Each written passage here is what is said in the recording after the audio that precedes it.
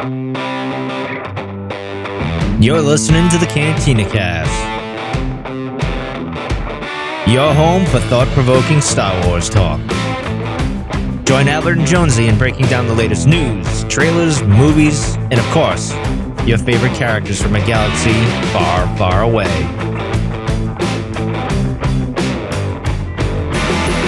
Hello, everyone. Welcome to the Cantina Cast. My name is Albert Padilla, and this is episode 492, our breakdown of the latest episode of The Mandalorian, uh, an episode entitled The Convert. And it's there's a lot to be said here because, on some hands, I've heard everything talk about, or people talk about it being very similar to Andor, too much like Andor, not enough uh, Mando. We're going to get into all that and kind of talk about the pros and cons, things we liked, we didn't like, and uh, you know, just I mean, everything really at the end of the day, including some of the big speculation points that I thought were very important because there was a bit of world building that was going on here, whether you liked it or not, whether this was your Mandalorian uh, vibe or not. There was definitely some world building. And I think we've got some kind of explanations or at least some theories and speculation as to why we suddenly got a, a shift in the tone, shift in the flavor of what we've had uh, traditionally. And speaking of shifting and traditional, no, I'm kidding. Jonesy's with us tonight. Jonesy, how are you doing tonight? I'm doing well. Like uh, Cube Dude in the chat, you know, saw your your little title, your little headline says the yellow biscuit, so he's asking where the red biscuit is, and then you. Well, that was supposed to be you, but yeah. Well, I, I know I don't really I don't read social cues very well apparently, and or I don't read your social cues. We but we've been missing out on like you setting me up and not stepping into it. So Well, we need to coordinate this a little bit better than maybe. we Yeah. do, we do. We can't all be Yeah. the Blue Man Crew though. So, Right, right. Yeah, but how are you tonight? I'm good. I'm good. I'm a little hoarse. Still got allergies, stuff going on. It just I can't get over it. Uh, It's brutal lately. It is brutal. yeah, it's been it's been pretty rough. And now we got winds here, rain's coming in, so the pollen's not going down. But yeah, so I apologize if I sound like Maud or somebody else. You're just working on that sexy podcaster voice. Hello, everybody. There you go. See, you're on you're on the you're on the right path Yeah, here. Barry White. Uh, yeah, no, I mean, yeah, an interesting episode, very unexpected, I think, uh, in a lot of different ways for the Mandalorian series, and so it, it'll be really interesting to kind of walk through and and and talk about. It's kind of a tale of two episodes, you know, it hmm two really totally distinct and seemingly unrelated things going on, but yeah, there is still a lot of connectivity with it. It'd be interesting to kind of get through our, our feelings on the episode of what we thought about it in more personal terms, but uh, in general, though, a very a very interesting episode, very unexpected, I think, on this level because I'm I'm kind of with people. I I do think it was very Andorish in the vibes, you know, for the stuff that was on Coruscant. I mean, how could you not? There were so many callbacks. If you are an Easter egg fan, by the way, oh my gosh, this Yeah. episode, Yeah. literally almost every scene there was an Easter egg for you, and and we'll kind of talk through a handful of them. But I I listed just just a few, and I'm like, man, I didn't even touch on any of the really super nerdy ones either. It Right, right. it is just crazy how many there were. So if you love looking for all that stuff, this episode was just chock full of it for you. You just you're like in a wonderland. And we actually are gonna we're gonna kind of skip over the news. I mean, yeah, there's some stuff happening. I don't know, celebration, whatever that is. But yeah, we've got uh, we've got a number of things that we want to get to you in this episode. So let's just jump into this. And I kind of want to. I mean, you've already kind of spilled the beans. Let me let me take the first part here and just kind of talk about my opening thoughts. Uh, first off, let's just kind of you know get to the lead story here that I think most people have been talking about, and whether this was more. You know, I've, I've seen somebody they put the Mandor Lorian, right? So they worked the word Andor into Mandalorian Not even that with the Andor logo. It's not even that creative. Yeah. Well, either way. Um, so here's here's my take on it. Okay, so first off, I would agree. Like it being sandwiched, I think you were using the term bookend when we were texting back and forth. Yeah. Um, it was a little, it was bizarre. And I say bizarre, meaning it was just different, right? There was definitely a change that happened here. And I think, to be fair, 100%, I think it's probably too premature to say that, oh, this is a, a bad episode because it does nothing or any of that stuff. I think we'll find out eventually at the end, you know, by the end of the season, we're going to know more or less what exactly they were doing here and setting up. But I don't make no mistake about it. They definitely changed course in terms of what they were trying to do. This isn't the typical season one, season two Mandor, uh, Mandalorian show, and that's not necessarily a bad thing. I think what I think for a lot of people, because Andor had come out, and there were a number of folks that just kind of felt like that wasn't their cup of tea, right? A little slow, too much world building, too much dialogue. that really wasn't Mando. Mando was kind of like action figures, boom, boom, boom, explosions, space battles, right? Really kind of eye candy, a lot of testosterone happening. And we're kind of slowing the pace here a little bit. And I think that's probably, again, because of the, the world building aspects that are kind of folding in from what we've been talking about, which is kind of like this larger, overarching type uh, epic saga ending, whatever we're working towards, right? There's something going to happen here at some point. All these shows, you know, this, uh, Skeleton Crew, uh, Soka, they're probably all going to connect and they're going to have some kind of big epic uh, battle or crossover, whatever you want to call it, right? Right. And so at some point, you got to figure they're going to have to work some of that building, that first, those kind of like building blocks of that story into the shows. Mando is kind of like the flagship of the Dave Filoni slash Jon Favreau universe. So at some point, it was going to get worked in. Where I think a lot of people are really confused is we get a 56 minute episode, right? One of the longest we've ever had in the series. And a large portion of that was this world building. And so, yeah, it does feel like, dude, there's too much sugar in my tea, or you know what I mean? Like there's, there was just a lot here that we didn't normally get. There have been bits and pieces. I'm not saying there haven't been. We've had a certainly bits and pieces of the mythology, the larger mythology with cloning and the New Republic and a couple other things here and there and spatterings. But wow, we got I mean, the majority of this episode was really kind of found around Pershing, who was a really, a, at best, a minor character in the first two seasons. You know, we didn't really see much or do much with him, and suddenly he gets this huge spotlight. So, okay, so all that said, I get it. I mean, I can feel, I can, I get where people are coming from. I just feel like it is probably a little too premature to say this was a, a terrible episode or it does nothing for the series or that it's filler. They've got a larger landscape that they're working with here. They got a lot more colors than we think they do in terms of what they're putting on this canvas. And by the end of the season, probably with the onset of uh, these other couple of uh, seasons or uh, shows, I think we'll have a better, clearer understanding of what this all means. But for now, uh, I'm not gonna not I'm not gonna say I hate it. I actually like the episode. It just was different. That, I'll leave it there. But give me your thoughts on. Yeah, that, that's a great way of putting it. Actually, I, I enjoyed the episode. It just felt it didn't feel like the rest of the Mandalorian series we had. So I understand the difference that people are struggling with and that that shift in tone, the shift in pacing, mm-hmm. you know, it just it was very very different. It was very stark contrast from everything else we've had up to this point to where it didn't feel like Mandalorian, like the Mandalorian, right? Now I'm with you though. I think this was a this is an episode that we're going to look back on and we're going to pull things from in the future. So I think to say it was to discard it wholesale and say it wasn't important, it say it had no value or anything like that, I think is very short sighted. Yeah. And I think it's definitely going to set some things up. I mean, clearly it made the connection in with Moff Gideon. You know, Mhm. clearly we're talking about where the cloning is going. There's something, yeah, and there were other undertones I didn't really particularly care for, but you know, the Yeah. and, but the general nature of what is going on in the New Republic and, and what's to come later on was set up in this episode, and we just don't necessarily have all of the the factors that go with it quite yet. So we, we have to be patient on that front. Now, I will say this though the it was more the structure I think of this episode that just confused me, and I, I did call it bookends when we were messaging back and forth because I just felt like they could have left one of them off either put the either put the beginning of it with the end of last episode and then you just Mm. you finish this episode going back to Mandalorian. We've kind of done that before, right?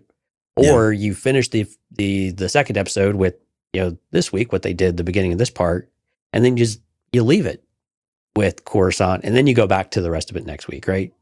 Now, Right. which way it works? That when I when I watched this more than one time, it didn't feel as abrupt to me. It didn't feel I, I didn't have the same type of strong emotion or, or response to it in one way or the other. And I'm, not, I'm kind of overselling a little bit there, but you know, it, I didn't have quite the knee jerk reaction that I had to it initially on that first viewing, but it still felt a little bit strange, you know. But Yeah. but I'm with you. I think this is something we are definitely going to look back on. Um, I'm hoping that there's a lot of important things in this episode because we did spend a lot of time with Dr. Pershing. And we Yes. knew we knew that there was more to this character. We we knew that was coming. The the actor has said as much on the red carpet as well that you know there was going to be an arc. It'd be curious if this is the arc and that's it. The mind flayer is you know kind of done its thing with him. Like, We don't really know what that means exactly, but Or gullet. Right, yeah, Borgullet knows the truth. Uh, he'll find the truth at least. But you know, so it again, what, what does that actually mean in the in the grander story? So we'll we'll walk through some of this, but how many Easter eggs did you go and point out? I mean, how many different aspects. I mean, we had things from like Revenge of the Sith, we had Rebels, we had Andor, we had Bloodline, which was really cool to have a High connect- Republic. Yeah, we had High Republic, we had Rogue One, we had Return of the Jedi, we had the Star Wars role playing game. We had old, we had Knights, yeah. we had uh, Old Republic references as well. Yeah, yeah. I mean, there were just it was it was so cool that Bloodline actually kind of got a reference and a callback here too. I, I just thought Yeah. that was really really neat, and I I kind of like eh, got a little giddy when when that happened because the books don't get enough love, right? So sure, sure. it, it was fun when the when those types of things happen. Of course, Claudia Gray is one of our our favorite authors. So, uh, but any any others in there? We'll talk a few as we go through the the show tonight. I'm sure, but any major Yeah, I ones that really popped out to you that were like, oh wow, I'm glad they they, they slipped that in. That was kind of neat. well, I think you you've covered all you covered all of I think the ones that have I didn't specify them though. No, we'll get into the specifications. I mean, the the one that uh, the one that stuck out for me was the High Republic one. And and and to be fair, I know a lot of people have said, "Oh, it's the it's Mount Umate from Umate, whatever." I've heard it called different things over the years. Right. Uh, but I'm you know on the uh, Monument Plaza, Mhm. right?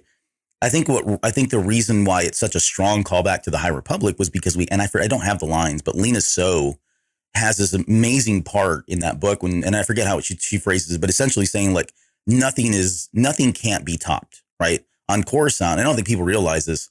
On I'm sorry, I don't people think people realize that Coruscant used to be a planet like any other planet, and what you were looking at there was the tallest peak of this planet, right? It was this massive mountain, and the city had been built out so much that that was the only visible like natural structure left or natural piece of this planet. And it just happens to be you know at that level. And so it looks like it's just kind of any other thing but that's actually the top of the mountain. And her point Lina Soh's point was that nothing can be overtopped even the republic. She was trying to kind of send a warning that look any, everything can be toppled at some point right? Right. um i mean i think she was speaking in in the context of it. She was saying that they were the republic was great they were strong they were going to overcome this but they weren't impenetrable uh the way charles soule wrote that was just so brilliant i think honestly and so when i saw that i was like oh that's cool but I think when we covered the light of the Je- light of the Jedi, we had mentioned that this thing has been around forever. Like even Yeah, back sure. in, uh, even back in the uh, the Legends uh, era, there were there was mentioned as well. But seeing it in person though, uh, for the first time, that was really kind of a treat because we'd only seen it really in pictures and drawings and stuff like that, but never in person, of course, or live action. So I really enjoyed that one probably more than some of the other ones. But by God, there were a million references in this particular episode. Some people might recognize Monument Plaza also from the Clone Wars, Satine and Obi Wan wandering through. Oh it. yeah, that's right. and yeah, I yeah. believe even Rebels may have been in that same plaza as well at one point. Yeah. Cube Dude says, "Cannot believe the Chancellor's experience with the mountain was was shown." Yeah, so same, referring to that same uh, scene in that. Uh, Yeah, Miss Sunflower called a couple of the books out there real quick in the live chat. Again, if you're listening to this, we do a live chat or live stream at cantinacast.com slash YouTube. But yeah, Aftermath and Alphabet Squadron as well. So it was cool. Yep. Yeah, again, there so many, so many. yeah, the aftermath. Yeah, aftermath. We'll get into a little bit more. The Alphabet Squadron. I think that was the the what is it called? The real rehabilitation of these people. Yeah, I believe so. um, right? The converts and stuff, whatever that program was called. I think it was first mentioned. I remember if it was given a proper name now, but either way, again, and it feels, I mean, this, it, it's appropriate, right? Because I think the Mando is kind of like, again, their flagship. It is kind of a touchstone. It's been a touchstone for a lot of the live action, but I love the fact that it's now becoming this touchstone for really all of the universe, right? Be, whether it's legends or canon, we're getting to see all this stuff weaved in. And I, it's a tribute to, you know, the writers, Dave Filoni, Jon Favreau, the creative the creators behind all of this, because it's it's their opportunity to kind of pull all this together, which is I think is pretty fascinating. I want to just quickly one thing uh, because we were talking about the Mandalorian and just how this felt different, and a little bit more Andorish or not. Yeah. Uh, you had said it was kind of a weird format, the way we kind of got that the sandwich. I've heard it called that as well. Well, you know, there have been plenty of stories, whether even the movies, episodes, movies, television series that we've got from Star Wars, where they've kind of weaved in uh, bits and pieces, and they were cutting back and forth. Do you think that would have like felt more natural for you, or do you think it still would have been a little too, I, want to say, uh, uh, exposition, world building heavy, even if they try to work, you know, in the parts of Mando and Bo Katan doing other things other than what we saw them do? That's a really good question because sometimes that'll help your pacing, especially with a really slower, more methodical, more deliberate pacing like we had with the with the Coruscant scenes. And so if you have that breakup, it, it just just changes the tone instead of this grayish, you know, light tone that we had with Coruscant, even though more colorful than we've seen it in other times, Yeah, like especially with Andor, right? But having you know the, the scenery elsewhere just changes you. It kind of resets where you're at. But again it can go the other way too. It can feel like you're just getting tossed around and you're just mm. going a ping pong and it's too much. It's too abrupt maybe the scenes aren't long enough to really let you sit in them for a while and, and kind of steep in it before you move on to the next one so i, I kind of get why they let it play out in one long scene I, I mean i don't necessarily argue with that part of it I, I probably prefer it this way like okay let's have an episode that is just dedicated to it even if there's a little something on either the, the beginning or the end, just to let you go ahead and just you know move through that whole storyline without interruption. Because I I am one for pacing. Like once you get into a pace, even if it's a little slower, that's not always a bad thing. And I don't think the pacing was too slow. I don't think it was boring by any stretch. I think it was just sure, right, right. I think it was just really it was just really deliberate. I think is, the best word I keep coming up with. It was this was a very intentional slower burn, even though you could see it coming from a mile away, which sometimes gets you a little bit frustrated. But they wanted to show us some of these things about the reinteg, you know, what does reintegration and rehabilitation look like? You yeah. know, how is the New Republic handling, you know, bringing in Empire people? How have how is the New Republic maybe in some ways very similar to the Empire in other ways, right? I mean, so mm-hmm. you know, a, a lot of that stuff they wanted to be able to show us, kind of this not seedier side of the New Republic, but maybe this you know, more ambiguous side of the of the New Republic. And we'll we'll talk yeah. about whether that's a good thing or a bad thing. But uh, but no, I, I I don't know. I it's a choice, so I, I'm okay with what they did. I just would have preferred one or the other at the end, maybe not both. Yeah. Let's see. One other thing, just quickly, and so I texted you this yesterday, or maybe it was this morning. I forget now. But I had mentioned that you know it was it uh, Kathleen Kennedy had said God, it was probably back almost two years ago now, right? When when Rangers of the New Republic was canceled, there was this. She did a kind of a press conference and she kind of a press release, I would say, and she had mentioned that they were going to take some of the story that had. I mean, they hadn't really directed anything, they hadn't written anything, but there were certainly concepts, story concepts they were going to still try to hit, and that they would likely work that into other series. Did this? Do you get any sense that this was part of? And I think somebody in the chat had mentioned this too. I think this was last year. I think it was probably the first half of last year because it was talking a little bit about Andor, some things that we knew were coming down the, the pike in more recent uh, terms. And uh, yeah, I think this is probably a bit of that. I think we're seeing some of that of, of the shows that are not going to happen, or maybe that had a, a less likelihood of happening. They've started to weave those story elements back into maybe their primary content, or maybe where they feel like they okay, hey, let's lay some seeds here. I mean, you and I talk about that that Sean Favreau and, and Dave Filoni are doing this all over the place and we don't even realize it half the time probably. Right. You know, and so yeah, I think this is definitely a case where this is this is absolutely building some of those things up. And then there could be themes here that maybe were intended to be explored, maybe they will be explored. I mean, again, this idea that the new republic isn't infallible and there's corruption and there's yeah, you know, there, there's something going on inside of it you know, definitely has seeds of what maybe we would have seen in some other content. I think you mm-hmm. had speculated, you know, more like Rangers of the New Republic, you know, and, and some of that.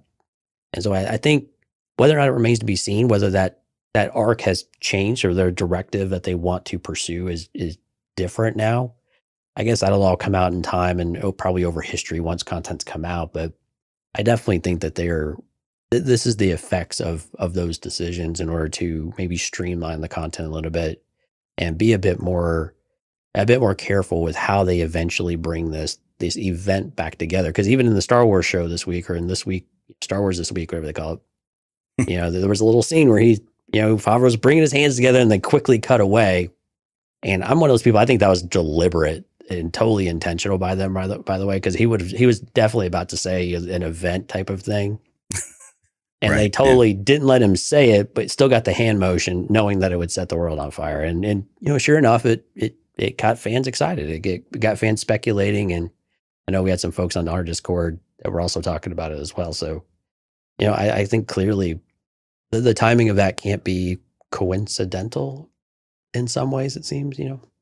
Well, okay. So quickly, uh, some of the uh, just two other main thoughts I have. Uh, number one, I, it wasn't lost on me that both Mando and Bo Katan got something really important to each other, right? For that were that something that was important to them, and they got it accidentally.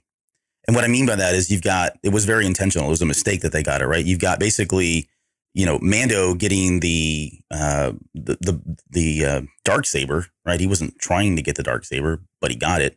And you got Bo Katan, who suddenly has been like cleansed, and now she has like this family. And I, oh, I, I thought you meant she had a mythosaur. Well, yeah, she, maybe she's going to get a mythosaur at some point.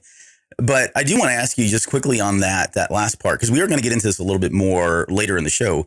But the the name of the episode is called The Convert. Yeah. And if you watch this episode, most of it you're thinking, oh, this is Pershing. But I don't know the way it ends. I'm thinking, oh no, that wasn't Pershing. It's Bo-Katan. And this isn't the first time they've done this, right? We there've been a, a number of episodes in all three seasons now where the titles of the episodes have double, sometimes even triple meanings, depending on how you look at it. But Right. is it or is it too premature? Are we going too far right now, saying that she's a convert? Well, I think within the context of the episode, I think it's definitely. I I think it's both, Okay, right? You know, and I, and Yeah. it's, it's okay for it to be both, but yeah, I definitely think it applies to Bo-Katan as well, though. I don't see why it wouldn't. I mean, she, man, the, the discomfort you could just feel from her. Like when you look at the different reactions you get from how Din Djarin is taking welcoming into it, you see him nodding, and you know everyone's slapping him, and he's he, he's enjoying it more, right? He feels like he's been welcomed back home.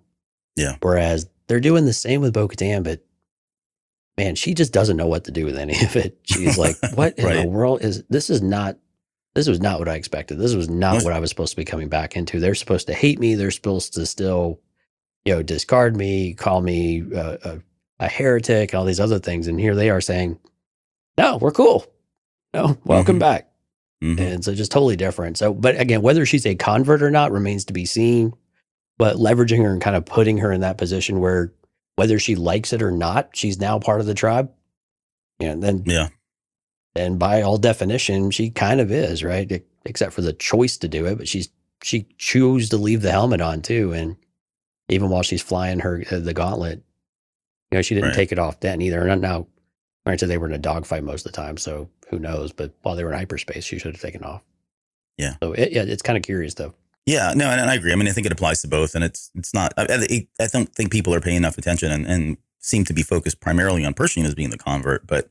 We'll see. We'll see what uh, where Bo Katan rides us out. And I got some additional thoughts I'll share a little bit later.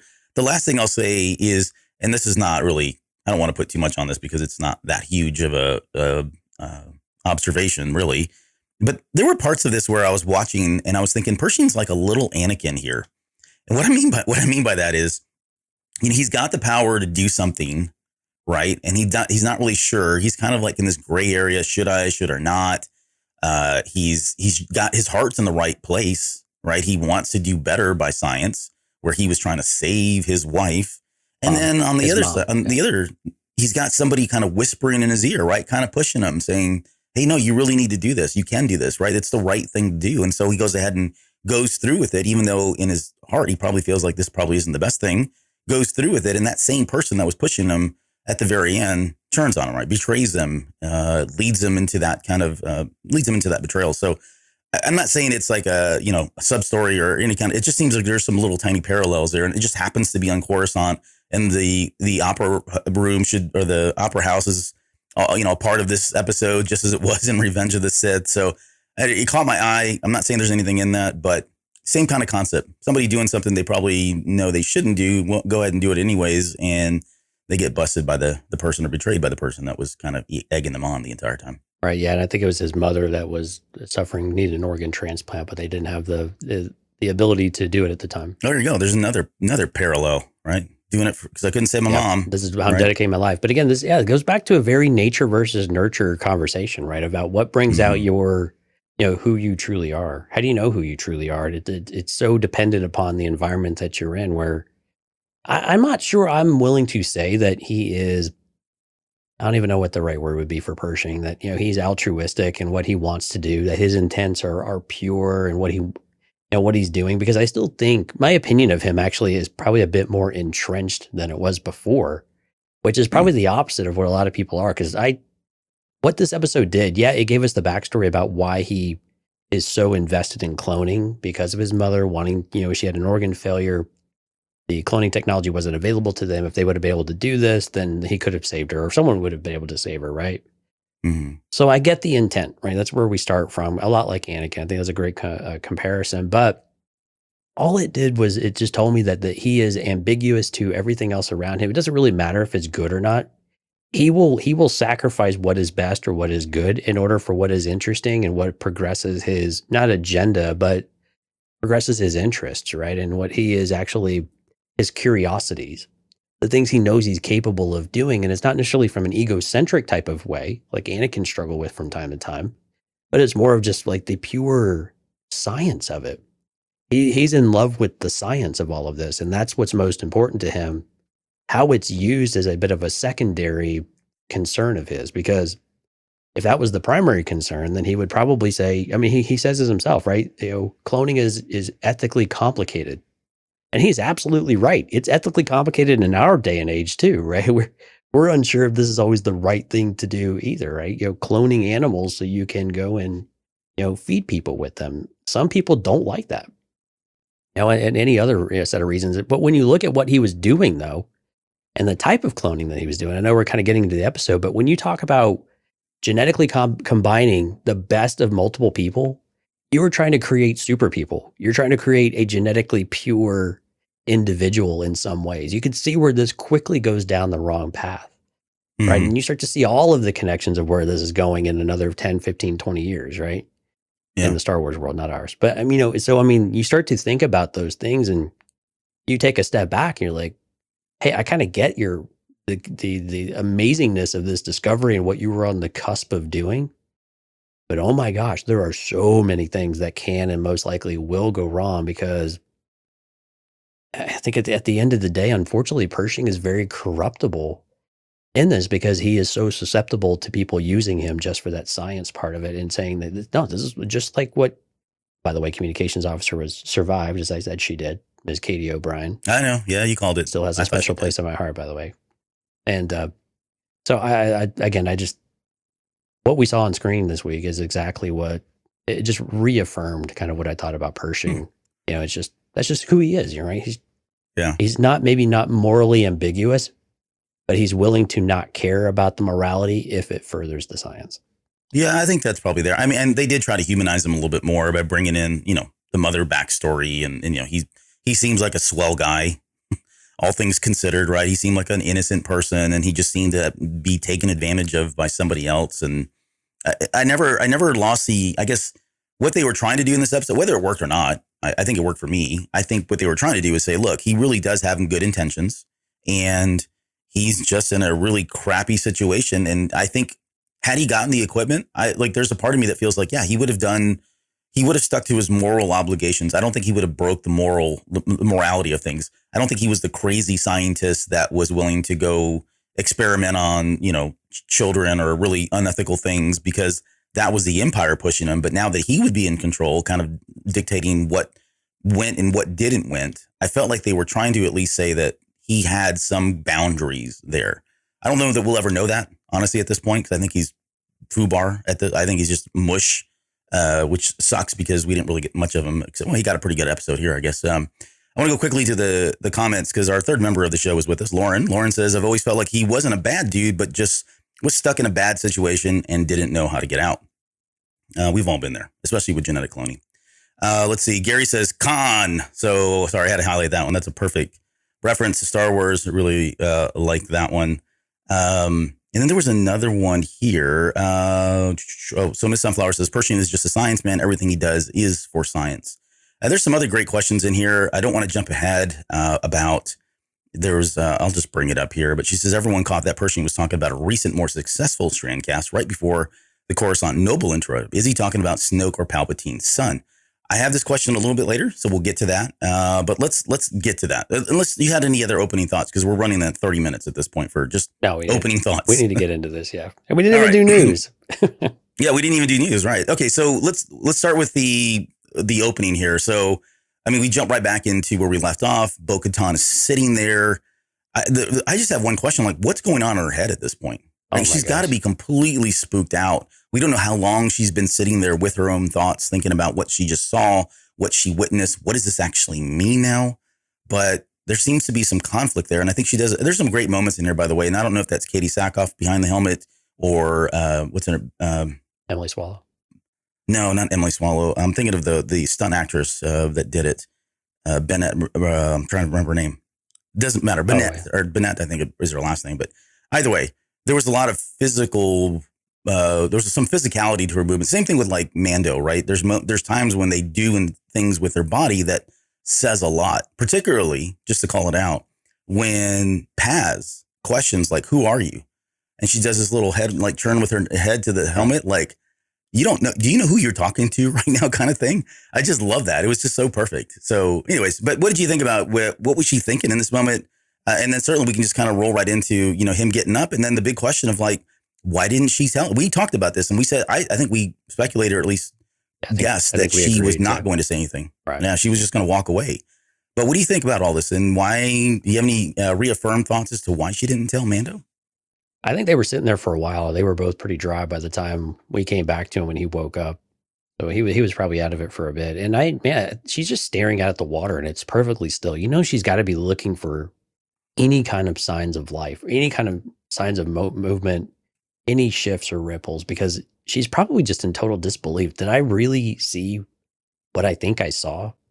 You know, and, and I think when she asked Din about, you know, did you see anything down there when you went down there? I think it's trying to see if she was hallucinating, if she really thought, if she really did see what she saw. Because I think it, it's a part of it's just like she just doesn't. How is this even possible, right? And it's really cool that we got the backstory though that the, it used not to be that deep, right? And so whatever happened with the bombing has, has created some sort of cavern underneath that's allowed the beast to move around or do something to be able to relocate and, and take up haven in this old layer that he, you know, that the at least of lore used to have. And so it's really interesting that that all that kind of moves into that place. But I did it reaffirm anything though of what of what we thought about her not telling. I think it's a I think it's just kind of an ace in her pocket right now.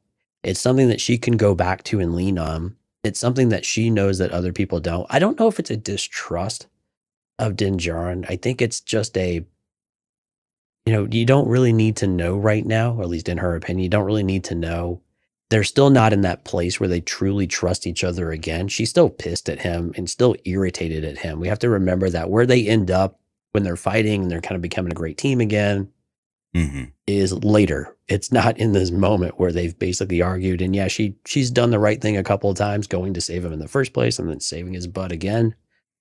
You know, but it's it's still that moment of like, I don't know what to do with this information.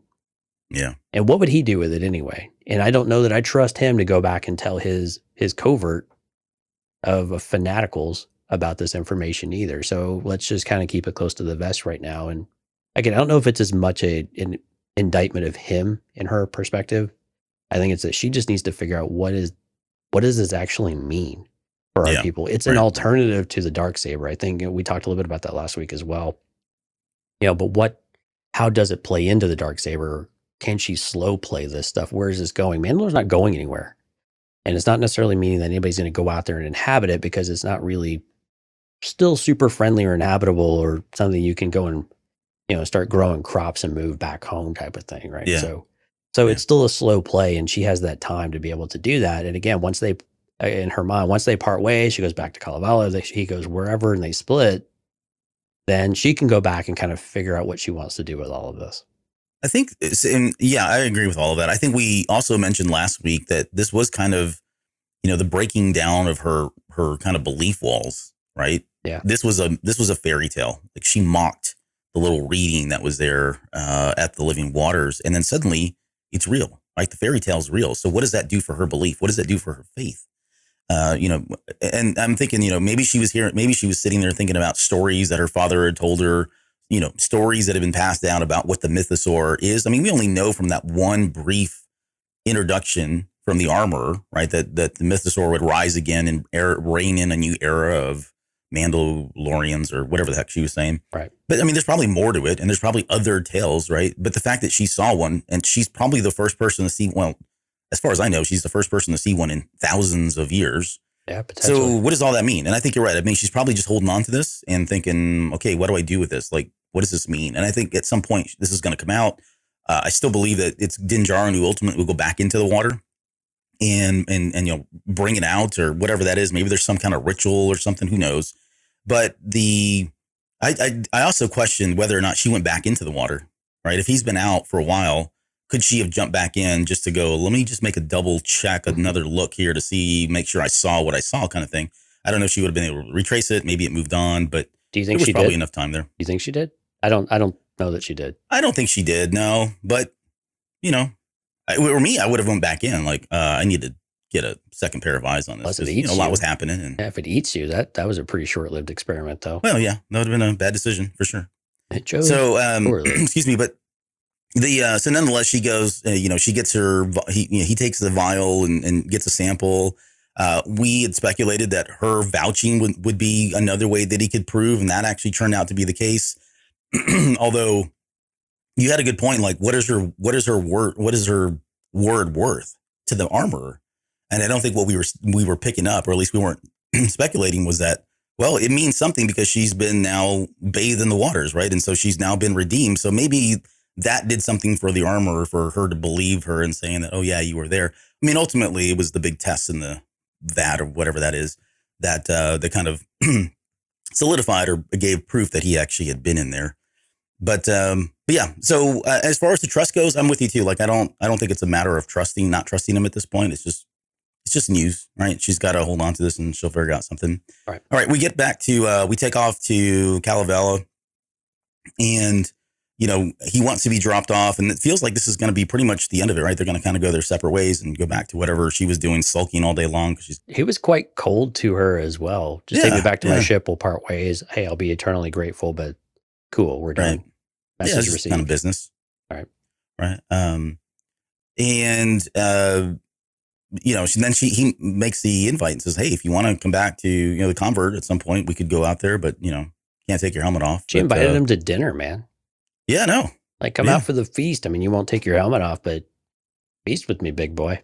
So here's a question I've got for you, and I've seen a lot of people say that Grogu said this is the way because they both, you know, he says this is the way, she says this is the way, and then he mutters something, Yeah. and then you know everybody kind of ran with it. I didn't take it that way. In fact, I still believe that what he was doing in that moment was sensing through the force that something was about to happen. Because he's sitting there and he's looking around. I mean, he's not looking at them. He's kind of looking around. And then he mutters a couple things and it's longer than this is the way. I don't know why he would even say that. It didn't even sound close to this is the way. But he says something in his like native tongue. And the next thing you know, they get shot at. All right, you just got the eye roll. no, well, it, it could be because I had actually I thought both ways. I, I thought, oh, well, what would he, what if he's just sensing the danger that's coming? But the timing, Yeah, I got a bad feeling about this or yeah, something's yeah, not right here. Exactly, but the timing of this is the way, this is the way, and then he's like, and yeah, it didn't sound anything like this is the way. But did he try to say it? Did he just echo what he was hearing? I like that. I think that's probably what I do he- like the I think he was trying to. And again, I'm surprised you didn't jump all over. I mean, I get why you went the other path too, because you're Albert Padilla, and that's what we do. But I, I think this is also why didn't you grab onto this one because it's him saying that he's a Mandalorian. Grogu has a is believing it. He's Yeah. learning the galaxy. He's navigated kind of with a droid. He pointed on a dial at least. You know, he, he's making his way. He's making his path to being a true Mandalorian. So that he tried to say it, although not very successful. Still, I think was- terrible. It was a terrible attempt, but that's what he was doing. it was. I mean, yeah, but I mean, you're. I can't believe that you're I'm just giving him a hard. you're you're giving a a 50 year old baby a hard time. Yeah. It says a lot about your character. Some some have called me the same thing. So uh okay, so either way, he either said this is the way or he said holy crap, something's happening here. Right. One or the other Why can't you Uh, people was understand me? right.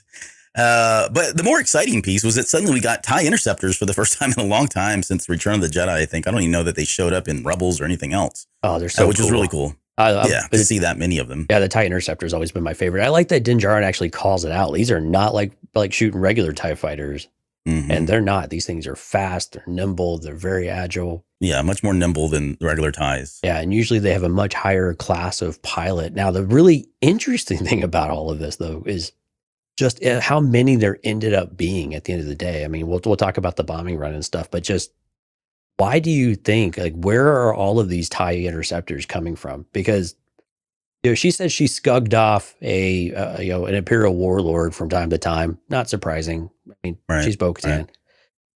But this is beyond what a warlord would have at this in this era. So, and she says as much. Where do you think these are coming from? Do you think this is another future tie-in that we're going to hear about eventually, or is this something for the series more specifically? So my theory has been that the Empire has set up shop somewhere on Mandalore, and so if that's the case, it would for me. I think it justifies that scenario, right? The being able to dispatch that many tie interceptors. I'm trying to remember if tie interceptors. I don't think they used. Did they have a hyperdrive? No, I don't think they did. I think that was one of like the that was the tie. Yeah, the tie defenders. One of its big things was that it had a hyperdrive built into it. But yeah, the regular Tie fighters, the smaller Tie fighters, didn't. Yeah. So either way, like that many tie interceptors in that area have to come from either a star destroyer, you know, of some sort. I mean, there's 20. So I count them right when they when they get to uh, Kalevala, there's 20 of them that are incoming when they finally turn around and like, let's get out of here, right? That's a lot. Now, how they got there, we'll talk about that here in a little bit. But I think for me, it kind of goes back to at least my theory that I'm hoping is the case that they've set up shop. Uh, it was a lot easier to dispatch them there from some kind of imperial base that's been on Mandalore this whole time almost kind of as a watch guard because they have been, you know, propagating the the lies or doing the propaganda of how you know it's a toxic place. You can't come here. It puts them in exile. You know, it, it removes their power. Their their their strongest power being you know a unionized kind of uh, Mandalore, which has not been the case for a long time. Right. So I think that would be one theory, and then the other theory would be, yeah, like maybe it's Gideon's fleet is here. Maybe they don't necessarily occupy the planet, but they could be very close in proximity. Gideon later on, we get word that maybe he was already broken out from this war tri- tribunal. He looks like he could be on the loose. So maybe this is his response. I think if that were the case, though, they would have showed him. I don't know why they would have made that secret since we've already seen him.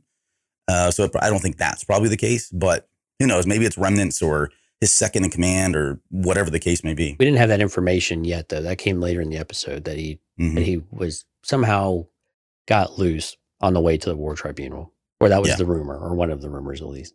But what about you? Any uh, any thoughts onto how that would have happened? I mean, yeah, I mean, it, it's hard to not talk about the elephant in the room and the, the big blue elephant with red eyes There's that- no Thrawn. that speaks in a very sultry tone.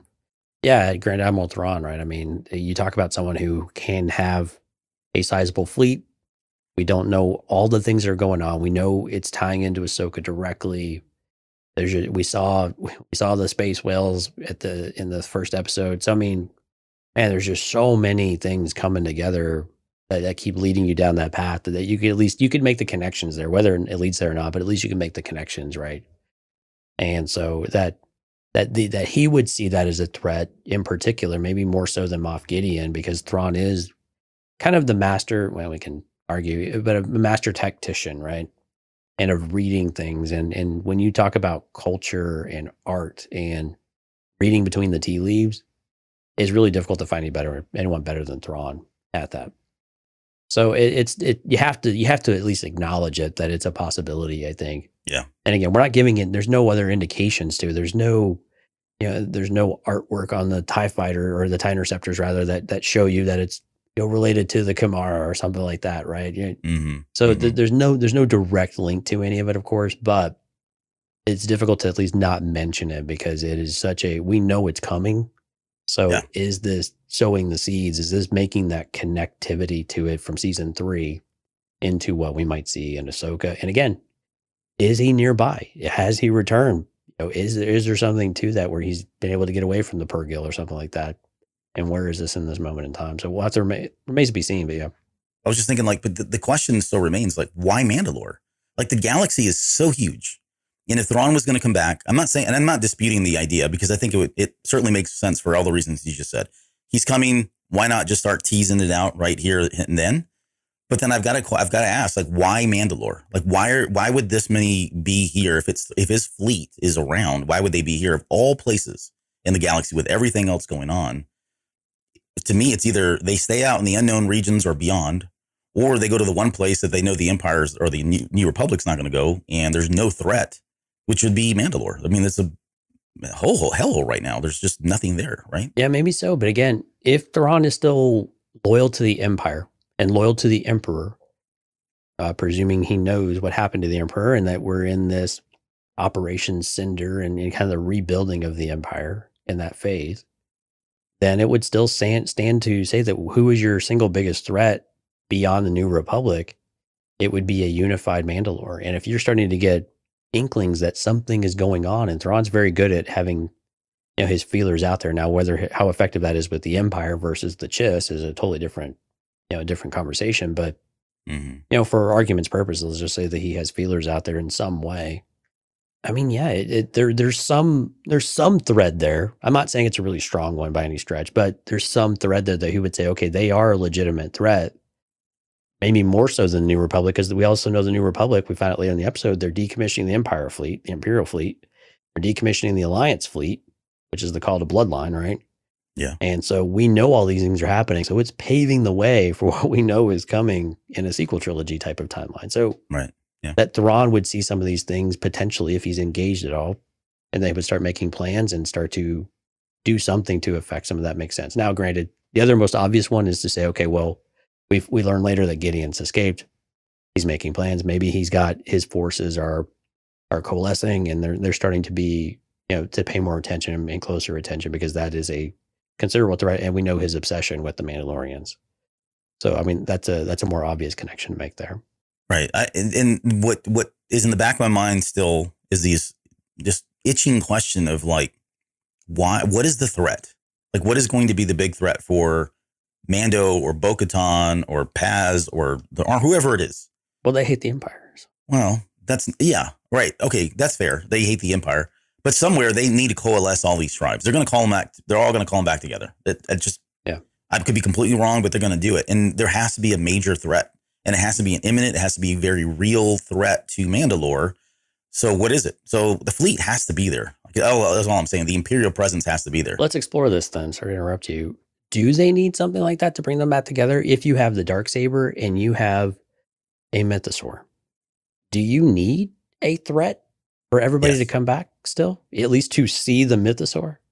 I think they're so splintered that even like even if the Mythosaur came back, they're so they're so varied in their differences that there's not a commonality. I don't think I think there are probably groups out there that are like kind of like Bo-Katan. It's like the Mythosaur is cool, but what does that do for us? Like that's not going to go fight an Imperial Star Destroyer, right? It, I mean, it's it was important to the Mandalorians because it was used at the time to like establish power against other Mandalorians. I mean, it was you had. I mean, there was a it, it was very central. Like it didn't it didn't go anywhere, right? It didn't go beyond that. Uh, the symbolism is not lost, Right. But I just feel like yeah, there needs to be something that cauterizes the, the the all these teams, all these groups. They're so vastly splintered, so spread out across the galaxy. I mean, if they just sent a call out and said, "Hey, by the way, we got the man," and I'm not making light of this, but I'm saying if they called and said, "Hey, we we, we have the dark saber. Oh, and by the way, we have a mythosaur. Come on back. You know, things are getting better. The weather's great."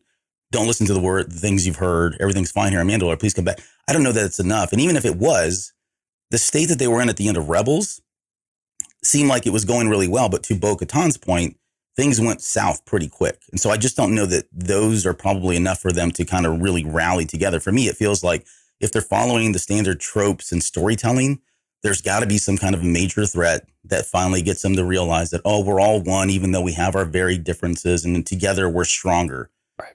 Coming together and not doing anything doesn't necessarily prove that they're stronger. That's all, I guess is what I'm saying. Yeah, fair enough. Fair enough. yeah. All right. Well, let's. So let's. I want to talk about the the battle because I really enjoyed this battle, honestly. And I forgot to mention too, by the way, this was the debut of Lee Isaac Chung as the director. Um, this also had Noah Kloor. So I think we had mentioned there was one, maybe two episodes. I think that Noah Kloor contributed to as far as the writing goes with Jon Favreau. Right. I want to say just quickly, the quality of directing on this one was fantastic It really was. like say what you want about the Andor-ish kind of stuff in the middle, or even you know anything else really about the episode. There was a cinematic quality to the way this film was directed and the way that it was edited, and I think more than anything, it was probably in these action sequence. Dude, there was some really great stuff. Like I said, this was probably one of the best, if not the best, space battle we've had in Star Wars live action. And I know that may sound blasphemous because we've had some really great ones, especially Return of the Jedi, which is one of my favorites. The opening of of uh, Revenge of the Sith comes to mind, right? That Right. epic scale that we had. But it really was incredible. And there was two particular shots I just want to call out because I want to just kind of quickly touch on some of our favorite aspects of this battle. But one for me was Mando jumping out of the gauntlet of and as he's falling, you get those tie the interceptors kind of flying right over his head. I was like, whoa, that's kind of nuts. We've never seen anything like that before. And then later on, when there's down to one, I think Mando, they go around the mountain on each side. Mando comes around, he shoots down one of the interceptors, Mhm. and they cut to Mando's cockpit, but the camera is to the right of, and they're focused on the cockpit.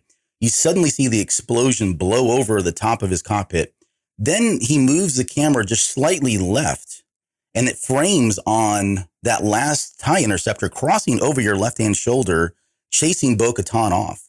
Right. That whole little action sequence, I mean, just watch it. It's like eye candy. It's like your your minds and your eyes are just going everywhere, and it's pretty easy to follow. I guess is what I'm saying. So I really enjoyed those particular moments. But overall, that and then the whole little you know pulling the handbrake maneuver thing. We got that. We got the death from above. This is now the third time I think he's done this. He's done it in season one, season two, and season three, where he kind of goes into this free fall, you know, effect and you know head on with the other uh, Tie Fighter or whatever he's shooting. So all in all, it's great stuff from an action sequence perspective. Yeah, Bo Katan gets the uh, best drifting award for what she pulled yeah, for her move. yeah, yeah. And uh, uh, this just in, Albert, uh, the Mandalorian Din Djarin is calling his is not the Razor Wing, it is the Batwing. So he The is, bat, he's yeah, officially well, that was yeah, he's officially called it the Batwing because that was straight out of Batman, which was act. I like that. I think it was fun. I I thought that was one of the cooler moments of Batman. Actually, when you frame the frame the the Yeah. Batwing against the moon, but I, I'm with you though. The way that this framed up, I like that when he when when Dinjar is coming in head on because this is a this is the dumbest strategy by the way. No one fights like this head on, you know. But I like that the realism he he looks cool. he shoots the cannon and but he pulls up so that you don't run right through them like you like you see in the in the Star Wars movies and before and like they did in the original trilogy a lot, right? You go pew pew pew pew and you go right through the you know, Yeah, everything is explosion of yeah particles, yeah it's particles right which is dust. which is just not the case. But I like that he actually pulled up. And to your point about the camera, as you're as you're focused on Din Djarin, there's enough space on the side you can see the remnants of the explosion falling behind the the Razor Wing or the N1. I'm disappointed he keeps calling it the N1. He does need to call it the Razor Wing. I am with you on this one, hundred percent. But I, I like that. I- You had a lot of. You got to keep the scale of the battle without losing the energy and the enthusiasm and the excitement of the battle, right? Especially you know when she's in Mhm. the rocks, and we've seen a lot of we- we've seen a lot of these before where you're you're navigating the terrain. We saw it in previous episodes of The Mandalorian as well, but a big lumbering ship like this, you know, going through and and the mastery, a little bit of the humor that comes through with Bo Katan talking with R five as well. You know, it, it it was just a really good mix, and it was just really entertaining. It was just a lot of fun to see, you know. And then whenever you get to the point where the the bombers show up, you're just like, oh no. I mean, and she says no, you know, you're just like, Yeah. oh no, it's happening again. Like you just imagine the trauma, you know, coming out of that and just she just sees red all of a sudden, right? Just everything just goes completely red for her and she just wants vengeance because the last thing that the empire hadn't taken from her, you know, her family, like the, the last piece of her family, the last piece of her lineage, you know, they've they've come to finish the job and they finally do finish the job in a very similar fashion to how they took the rest of Mandalore from her and from the rest of the Mandalorians as well. So it was very powerful in that kind of way. But I'm, I'm I don't know if I'd call it the best Star Wars you know action sequence battle that we've had, but it was definitely it was definitely up there and just really enjoyable. And again, I think the TIE Interceptors. I've always loved this ship because it's the most it's one of the most difficult ships for for anybody in the alliance to take out or even in this era. And so I like that we did still get their due. And this is why you have the N1. You have something as powerful and as, as agile and as fast, and, and it, it's a it helps level the playing field a little bit. And let's just talk about them coordinating and getting along and really playing off one another and having that mutual respect at the end, which is great. I mean, are you ready to ship these two or not? Come on. Oh yeah, I mean that's I mean, you say mutual respect. We're that was last episode. This is all been this is all like filling each other out like as far as I'm concerned. as far as you're concerned. yeah, it's for it's foreplay at this point. I mean, him saying you know not bad for an antique, right? Um, and then when he said nice shooting, or I think if she said nice shooting, right? Yeah. and he kind of nods at her. He's winking at her. You just can't see it under the helmet, but he's winking at her like I'm picking up what you're putting down, lady. I, I'm I'm with you. So I mean, they're a thing at this So point. you moved. Uh, you've moved on from Omera then. for now. Yeah. I mean, they're just, they're the, the power couple. Uh, like, uh, Yeah. Lauren had said last week, they really are a power couple, which would be great. Now, Mara still has a role in all this, but that's, you know, that's for the fanfic at this point, which we'll get to you later. Uh, but yeah, I mean, they're, I, I do feel like they're, they're flirting at this point. So, uh, we get to, let's talk about the bombing just quickly. Um, you know, where did they come from? All that stuff. I mean, I, I don't know if this was specifically targeted at them, but you know, it could speak to Gideon again, wanting to go after her for what she did. It could be just part of the hey, you know, we've taken care of Mandalore. They're starting to they're they're hearing rumblings of Mandalorians kind of creeping up, so let's just put them down now before the, you know escapes. And they may have been watching her, knowing that she lives here, but she's been without power for so long and just kind of a nuisance. And now it's like, no, let's just go bomb the hell out of her and, and be done with it. And so either way, they took it out. I mean, now conveniently from a plot and storyline perspective, it kind of resets her, right? That coupled with the fact that she's now bathed in the water, the living waters, and, and kind of been baptized and purified and starting anew. This is kind of a, at least it's an opportunity. I'm not saying she's going to entertain it like we talked about earlier, but I think she realizes that, okay, I don't really have a home anymore. All right. They just bombed that. We established in the first episode, I think, or the second episode that all her followers have left her because she doesn't have the sword. So she's got really no commitments. Her family's all gone. But what has she got left? Right. So, I mean, she's got this and, you know, she's been bathed and or cleaned or whatever, and they've accepted her. It's kind of family for now. And, you know, man, we'll just kind of see where this goes. And I think someone said it earlier in the chat as well. She could be playing the angle of, look, I need to rebuild my forces here. I need to, I'm still the rightful leader, but I can't lead unless I have people to lead. And so this is all the family I got. These are only, these are all the peasants that I have right now, wherever she looks up upon these guys, right? Because I still, I still think she has a high horse that she sits on at times. Oh yeah, which is fine. I, I love her for that, right? She is the heiress. Uh, but you know, maybe she's just kind of rolling, rolling along, see how things go, and when there's an opportunity, she'll jump on it. But I think they've set it up perfectly for her there. Yeah, I mean, it was a little bit convenient that she needs a place to go, right? And, but it's a good way to escape. But again, we want these two to to team up anyway, and we want this. This is the story we want to, right? So it just makes sense. And again, I like the idea that the man, this the, but this is where it like really leans strongly into Gideon being the the one behind all of this because this is vengeance, right? This is yeah, retribution. Yeah. This is finishing the job. This is adding salt to the wound and, and just going down that and, and targeting her specifically, you know, rather than Mandalorians as a culture or as a as a fighting force or anything like that, right? Yeah. Because again, the, the coverts are lying low and when they've come up, they've taken heavy losses. So I don't know that the Empire really, or even a Gideon, would necessarily give them a whole lot of credibility at this point as being a true threat. But again, he he's a he's a smart guy, so he's going to go and you know leverage his bets there and and make the right call.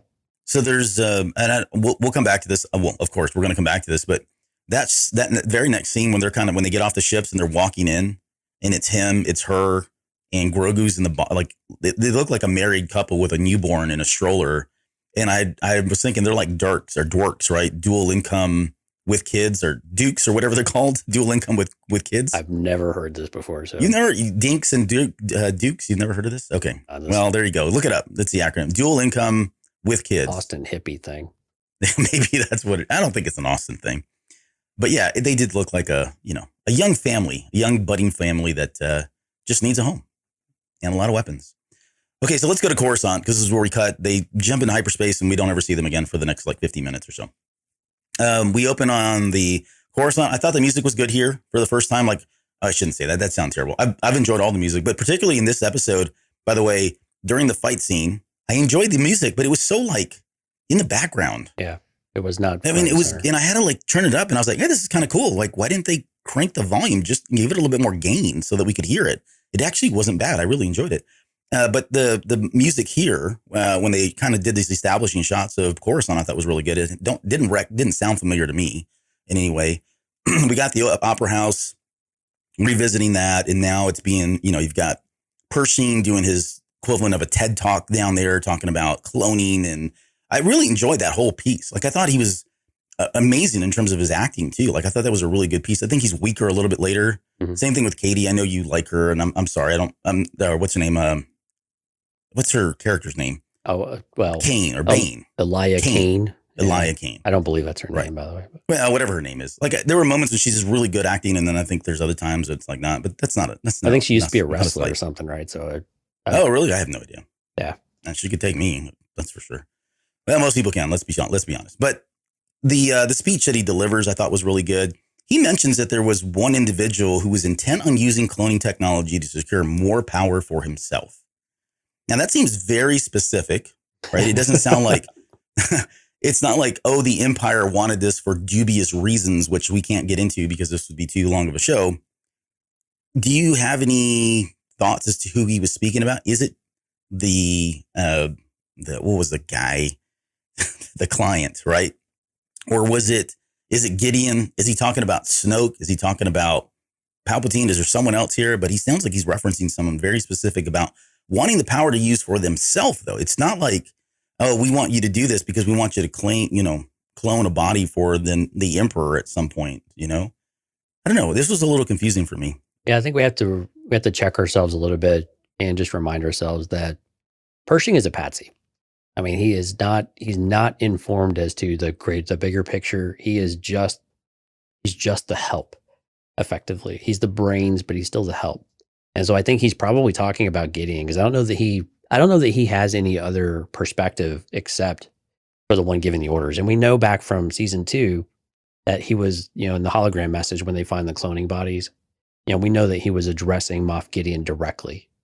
And so I think everything was reporting there. And so I think from Pershing's perspective, and granted, you and I know better. We we both know there's a bigger picture going on here. It seems like it's for the Emperor ultimately, right? Yeah, right, right, right. But I think from him, I think he is talking about Moff Gideon directly because that's also the one that they've imprisoned in war and everyone else in that room is probably going to you know equate to that as well and they understand the brutality and the criminal nature of what Moff Gideon has done and what he continues to be capable of so um, that that's kind of where I lean on that one that he is talking about Gideon because I just don't know that he has any other you know scale to to base any of that on.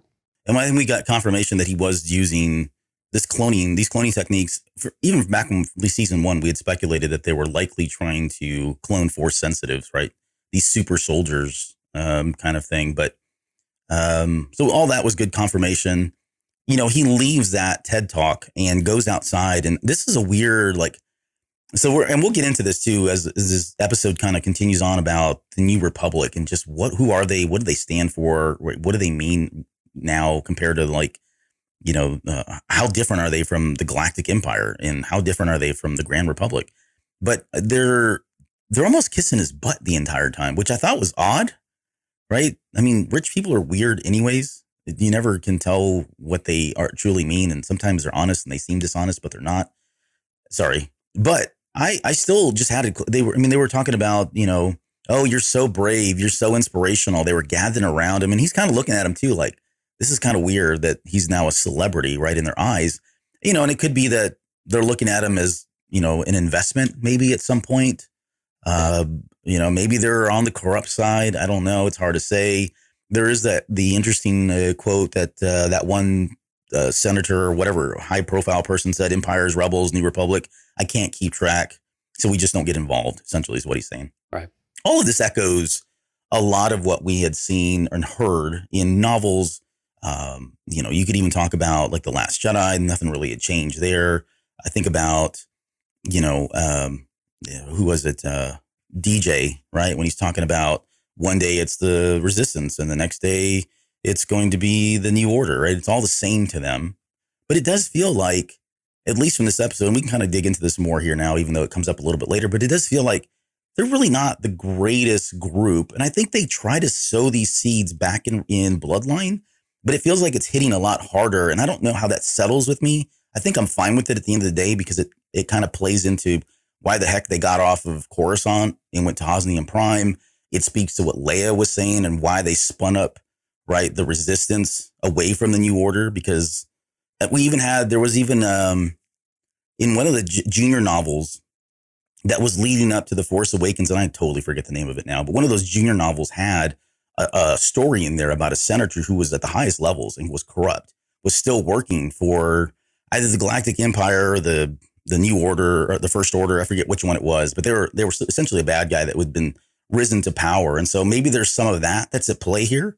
But it does speak to what Din Djarin was saying too. Like the New Republic's kind of a joke, and nobody takes them seriously. And they they seem to be making a lot of bad decisions. Uh, everything from the stuff we've already talked about to naming people with numbers instead of giving them real names. So I guess what are your thoughts on that? How does that settle or I guess feel for you, knowing what we know and what you've thought all along? It, it was uncomfortable. I'll say that much. But I, I did distinguish between the New Republic and these people. But these people really reminded me of the denizens of Canto Bight. So I'm glad you brought up DJ because it this very much reminded me of that one where they are just on a completely different plane than, of existence than everybody else. They just don't care who's in play. It, it's as long as they are they're opportunistic, as long as they get what they want, they really don't care. And they're totally buttering him up, whether it's for his research or for the promise of his research or whatever it might be. And he plays right into it though too. He's you know well, it, yeah, you, I, it's nice to be on Coruscant. At least it's not the outer rim, right? I mean, he's even playing right into it, and you're just like, really, dude? You're going to go and bash the outer rim now? I mean, granted, you could say it's better than the conditions he was in under the thumb of the Empire. You could probably make that argument instead, but within this group of people, it just played right into their hands where he's just kind of soaking this up. And again, this is where I question the, you know, the true altruism of of Dr. Pershing to where he's not he's not immune to these types of things. It's not all about in science or not all about, you know, saving people. Uh, I, I, but I had to really disconnect between this is not reckon this is not representative of the New Republic. These people have always been here. These people were here in the in the days of the Galactic Republic. They Fair. were here in yeah. the Empire. They're here. They're always going to be there in some way, right? Yeah. Now, what we see later on, though, with the New Republic, I have a problem with and we'll we'll talk about mm. it because I that that really did kind of rub me the wrong way a little bit about uh, about some of that with just how Star Wars has been positioned, you know, historically. And we've talked a lot bit about that, but we'll we'll kind of get to that in a little bit. But yeah, with these people, I I did kind of disassociate with some of that stuff. It was the speech was good. The the speech was interesting. I agree with you. The acting was was a lot of fun here. I did like the emotional side of the story, you know, getting that aspect of things, but also knowing that you know it's there's something just not right within all of this. He's touching his ear. What does that actually mean?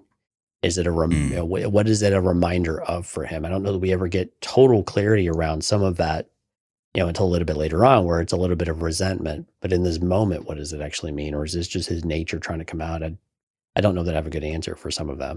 Quick question: Is Mon Mothma still part of the Republic after Leia left for the Resistance? I don't know the answer to that, and I don't know that it's ever been explored. She's still around but uh, you know where she is and which side. I would imagine she probably goes to the resistance and not like I can't see her being okay with what's going on in the Republic or the New Order. How about that? The New Republic. Sorry, if she's even alive. Um, if she's even alive, yeah. Like we have no reason to believe that she's dead, but we don't know that she's alive either or dead either. Either way. Yeah, and there's some there's some comments about the ear, and I know yeah that's where Cara Dune shot. You know, she shot past to get to the guard behind him, so I know he's wounded there and and things like that. But um, he pulls on it twice. He does it in the speech, the TED talk, and then later on he does it right before. He does, and Kane is doing the same thing with her uniform, right? So it's some sort of a tell. There's some, there's something associated with it that uh, that that's there's something behind it.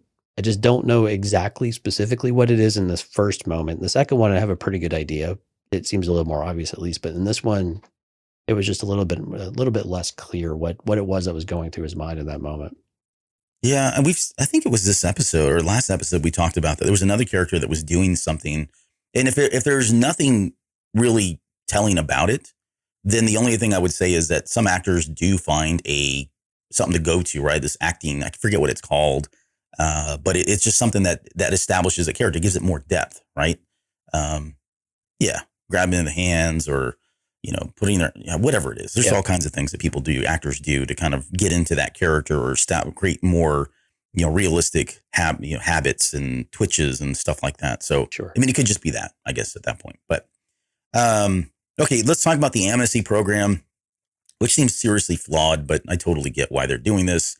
Uh, apparently, you have to make it into the program. It's not like everybody comes in, so it seems like they're you know, weeding out people that are just really crazy or fanatical in some way. So that sounds like there's at least they're gating the people that come into it. Um, you know, he's on his way. They're providing these houses. Oh, by the way, that droid did that not look like the concept art for 3PO for Ralph McQuarrie uh, that he drew? A little bit, but the ones on the train seemed a bit more. Uh, more no, that's more true. They did seem a bit more. But yeah, there was definitely some old school McQuarrie reference in this yeah. episode. But they go to um, Oh, you mentioned the, the I have it in my notes, but the the Mana Bog of Malastare that he's talking about, which is from the Star Wars role playing game, the D twenty one, not the D six. Right. Uh, but they go to the convert and the, or the convert.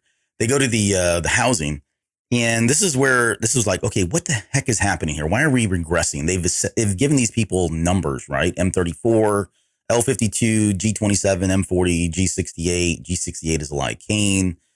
I, I don't really understand the point of all this. Like, it feels like, oh, you're part of the system, but we're still going to treat you like you're not part of the system, right? It, it's it does feel like we're digressing here just a little bit, or regressing, I should say, uh, is what I meant to say. Regressing to the days of, you know, the empire, or you know, giving people name or numbers instead of names, and I just I don't know. It doesn't. It doesn't seem like this is maybe this is the part that doesn't sit well with you. Like, why would we go back to that? Why are they doing that with these people? Yeah, this was the first. Yeah, this was the first time it really hit me hard. I'm like, I don't like this at all. Like, I don't understand.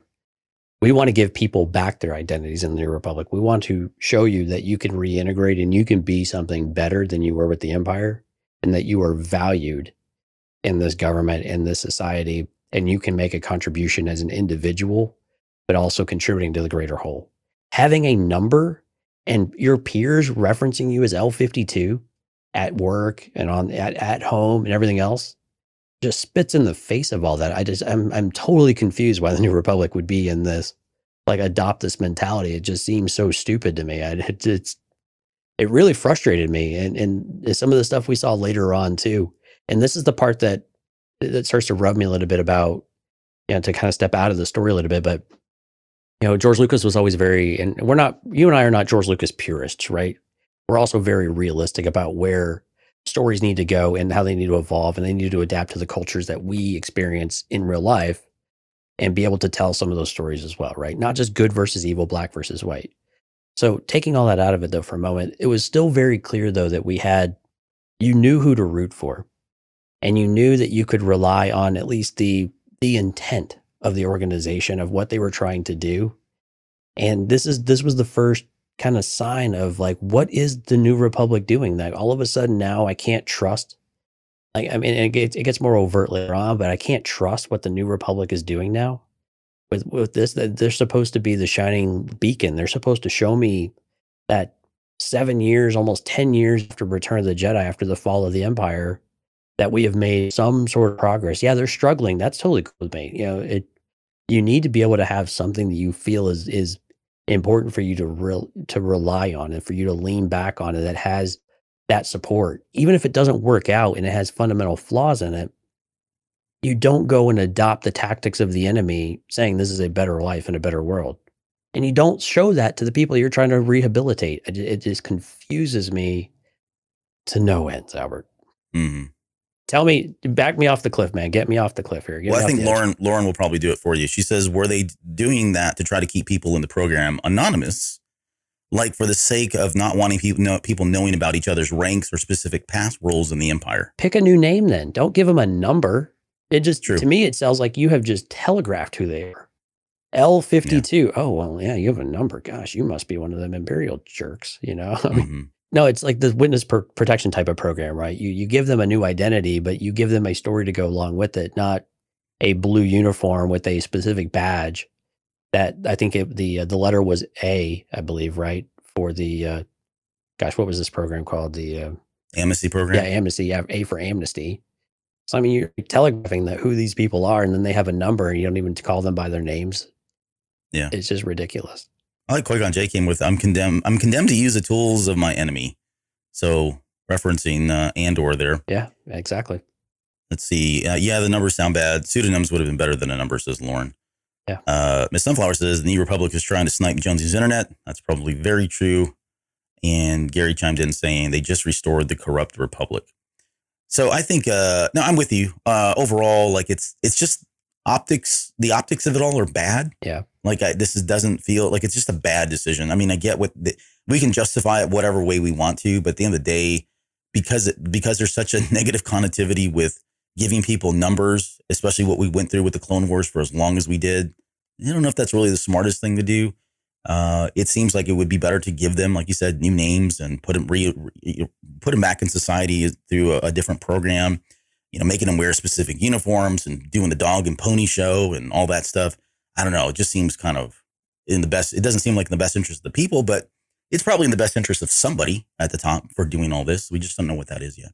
Yeah, I mean, So, yeah, I'm with and- you. It Gary put it out there. It's Operation Paperclip, you know, from our own real life story of re- bringing in the Nazis and, and giving them a new, you know, purpose, right, in order to help us, you know, go through the Cold War and, and all those good things. I mean, it, it good things, all the terrible things, but I mean, I, I get it. I just don't.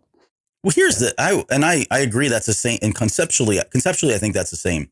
The difference though is that we actually utilize their strengths and their you know all of the intelligence and their skills. And Pershing gets he's a pencil a paper pusher right. He's sitting there decommissioning equipment.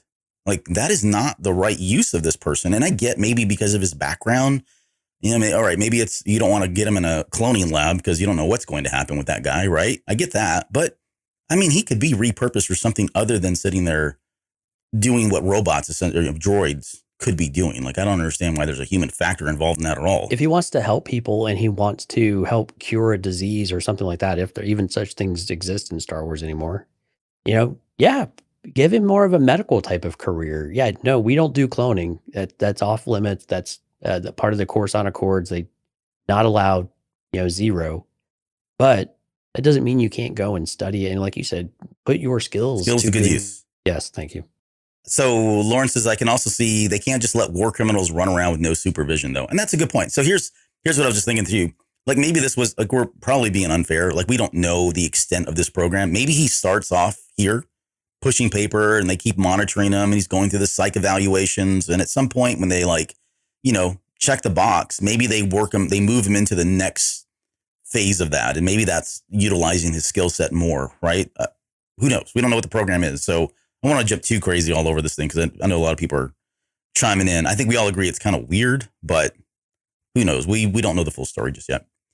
Um, okay, let's move on because we get a quick update as they're kind of sitting around. We already talked about this, but you know the rumors about whether or not he escaped uh, en route to the war tribu- tribunal. So maybe he never even went through that. It was interesting. One says there was a cover story. Uh, they toasted and said, "Long live the New Republic." And I'm like, my goodness, why don't you just say long live the empire? Because that's, again, I mean, there's just echoes of this, right? Remnants of it. And maybe that's just them, right? And that's all they know. And so they just kind of, oh, let's be fun. That's, they were being cute and let's replace empire with the new republic.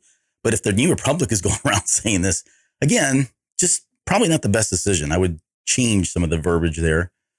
Um, and then let's let's talk about. Uh, we're not going to go through every detail, but I had this section in here called the exposition of Coruscant and the amnesty program because now between now and the point where we get to them leaving to the naval yard or whatever they're they're doing the decommissioning or the tearing down of the Imperial Star Destroyer, there's a lot of exposition that's built up here, and I think this is where people like were turning off. Like Rondo had chimed in and said it was boring, right? He didn't like any of this stuff, right? And this is the world building stuff, and I think this is the stuff that's going to play into a little bit later. Some of it's not. Some of it's just, hey, here's here's a look at Coruscant in a way you've never seen before on live action. That's okay. I really don't have a problem with that. Um, but we got them mentioning the uh, Ecumenopolis, right? That Ric Olié talked about back in Phantom Menace, uh, that it was the center of the galaxy, but not really the center of the galaxy. Um, there was, you know, there was, they talked about lightsaber pops and photon fizzles.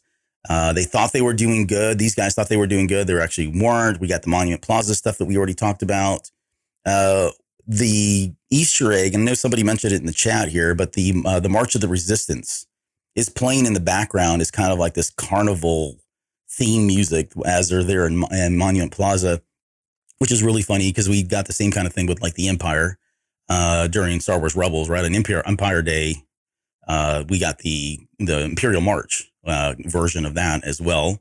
Uh, but I do want to talk about one thing. So one thing that that came out during this whole almost 15 minutes of the show, they were talking about how cloning now is kind of frowned upon here in in the New Republic, um, which is probably a good thing, right? But they when he was talking about he's talking to that psych droid, and she says that uh, cloning and genetic research is prohibited by the Coruscant Accords. So it doesn't sound like there's an appetite for this whatsoever. But yet Pershing believes that hey, they just don't know what they don't know, right? If I can show them what good looks like, and I can show you show them the benefits of it, then I think they'll come around to it. But why would they be against cloning? Uh, uh, uh, you know, on the whole, like I don't, I didn't really understand why. Like it seemed like it was largely successful when it came to what happened with the clones. Now, granted, how they got there Probably wasn't the best. I mean, the Empire didn't like it, but it surely heck worked out for the Grand Republic. Yeah, but it's so easy to be corrupted in that in that sense. What are you going to do with this technology? And again, you look at what they were developing and what Pershing was having a talk about. You were talking about splicing two genetically ideal people into one more genetically ideal person. Well, that so that part I get, like that part I, I totally get. But the cloning them, uh, the principle of cloning is what I'm saying. Like right. they're against pr- cloning and genetics at all at all costs, and like that doesn't seem uh, maybe they got back to right, but that's fundamentally, why. that's the but that that's where you keep coming back to is is the risk of it being abused and the risk of of the people being corrupted and the, the risk of that science being used for ill. I think is still just way too fresh. That you know we had a whole clone army. Yes, it it helped fight a war. Whether you want to say that's a good thing or a bad thing, probably a lot of people. You probably a very strong argument was a terrible thing to do. Uh, but at the same time, it's a you know, it's just it all happened behind your backs too. And you had one group of people control all of it. And you had, oh gosh, and then just all the things that we know they're trying to do, all the, all the, the, the behind the scenes activities that could be taking place that you just don't know about. And you have these special scientists. And what are you going to do to control that? You're going to put them in a room and in, in their own housing and keep them under wraps so they can't talk to anybody?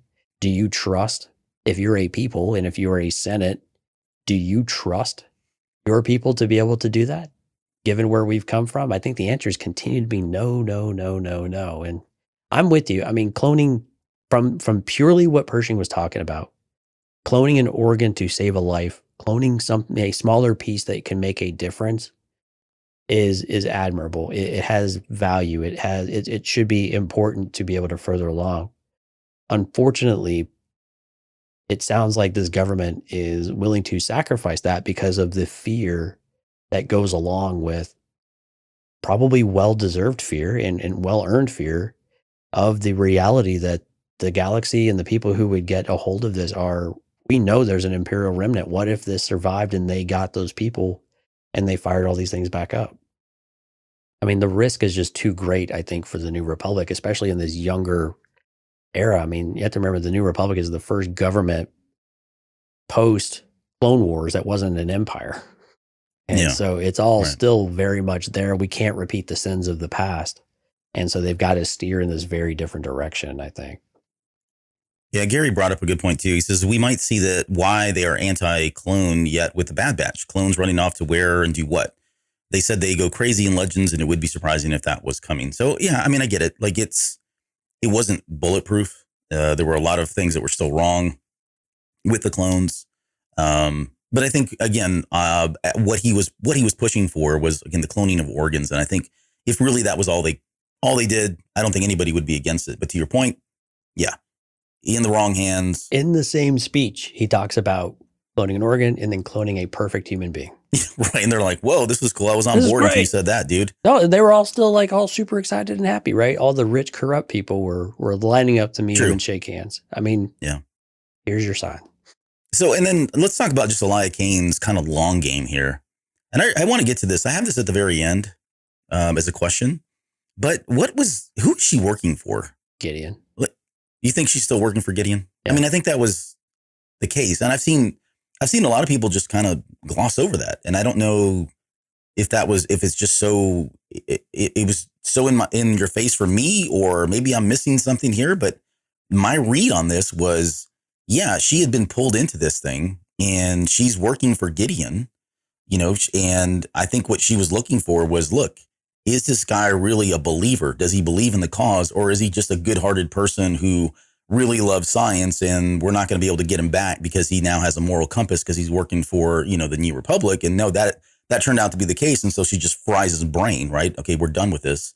And she could be covering up things as well but i never got the sense that she was truly working for the republic. That I mean, even even still like okay let's say i mean i get she is i mean i'm not saying she's not working for the republic because it's very clear that she is she could be working for a corrupt arm of the republic that somehow reports to gideon i think that's a conspiracy theory that's out there but nonetheless, the fact that the it's again that the New Republic is even doing this, right? That they're baiting people.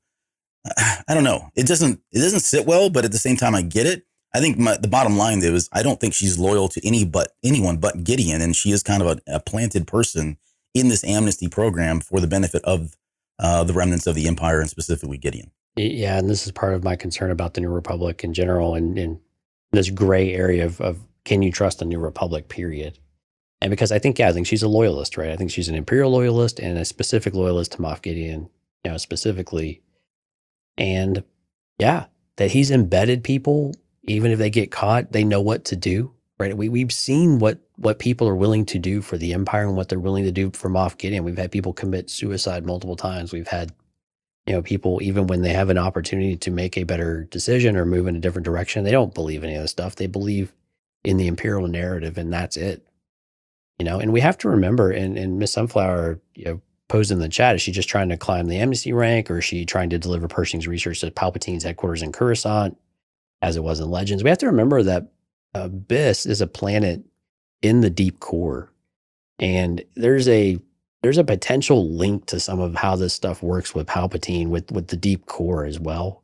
I don't know if it's all out in the outer rims and stuff. There's got to be something still entrenched in the middle of the galaxy, you know, and how some of that might tie in. And now I know that's legends and, and all of that, but there's there's truth in legends sometimes, and I, I believe that's how they address some of that in legends. But regardless, it wouldn't be that far of a jump if she were to get research or get something to be able to start setting that back up reestablish a lab somewhere nearby, however they want to do that, or if it's more mobile, it doesn't matter, I guess. But Mm-hmm. anyway, I, I, yeah, I just think that she's, that's what she cares about. I mean, that's, that's clearly what, that's her job there is that I'm always serving the empire's needs at, you know, just end of the day. And granted, I think they may have been feeling him out a little bit of saying, okay, is this someone that yeah, we can bring back in the fold that believes in the cause. Yeah, he believes in the science. That's great. We need people like that we can manipulate, but does he truly believe in it to where we can keep him around? And when you fast forward to the end, whenever they decide to to mind flame, when she decides to mind flame, I guess, because hey, let's leave a convict in with another convict, unintended. Sure. Makes a lot Right, of sense there. Yeah, the commissioner is dumb. But anyway, but it still she has to make the call about whether or not this is someone you want to have the risk out there, right? And again, he's he's kind of turned on her at this point. And so there's there's no choice left for her to make but to to fry him. And I don't it doesn't really seem like she has any issues with it at all. I mean, she's sitting there eating the yellow biscuit you know, as she watches. So it wasn't like she was torn up over it, even though it seemed like Yeah. maybe she was going to be. But at the end of the day, she's like, "Yeah, I'm gonna sit back and enjoy the show with my with my little treat. I was calling them dark side cookies or dark dark side biscuits. I think I like that better than yellow and red, but to each their own. A lot on the nose. She does a good, yeah. I mean, she does a good job too. You know, talking about, um, you know, she's playing them the entire time. Or he he says the words, you know, I thought we were doing good. You know, she plays into the, the how much he wants to do the research, and Oh, she yeah. even says, "Look, if it's going to help the New Republic, then you know, isn't that enough? That you be have enough." a you have a responsibility for it, basically, right? I no, you're absolutely right. She was definitely picking up on all the cues, and she is a you know she's a master manipulator. You know, apparently, of where she can take those cues and turn them right back around and use them against him in order to further you know that her agenda. Yeah, she says, um, you know, following orders blindly was what got us in this position, right? That's that's Yeah. exactly what we did at the Empire. Um, and then eventually he goes and asks the question of the psych droid, but she's a con artist in that regard, right? And I think we've talked Sure. about this in other things, but the, the the telltale sign of a good con artist is getting you to say what they want you to say, and that's essentially what he's doing. She convinces him to say and commit to doing something that he originally didn't have, and he thinks it's his own idea like he she does a really brilliant job of of manipulating him and conning him into thinking that this is his own idea when it really isn't. It's her, right? She's been feeding him this entire time.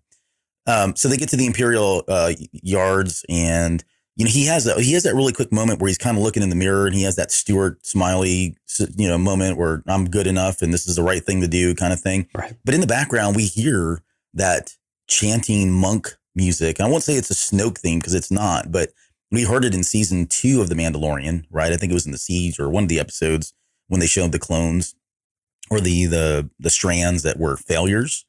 Um, so I think all of this is just kind of you know signaling that this is the again more of the the Snoke uh, uh, experiment and and and you know ultimately trying to get a clone body there for Palpatine. Sure. Uh, we get them riding subways, which was kind of interesting to see.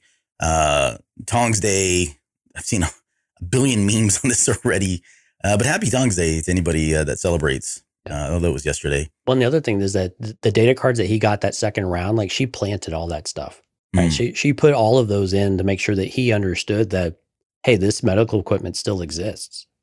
Right. Yeah. That was all super intentional. But that that that goes to show you the reach that she has and that she can't be doing this alone either. There's gotta be an embedded group of people or a team of people or high up that have permeated the new republic in this regard to find loyalists and to find opportunities to bring those people back and get them into the fold and, and, and somehow pull that back around to the empire. So, I mean, all of that is very intentional. So, it wasn't just the conversational aspect of it.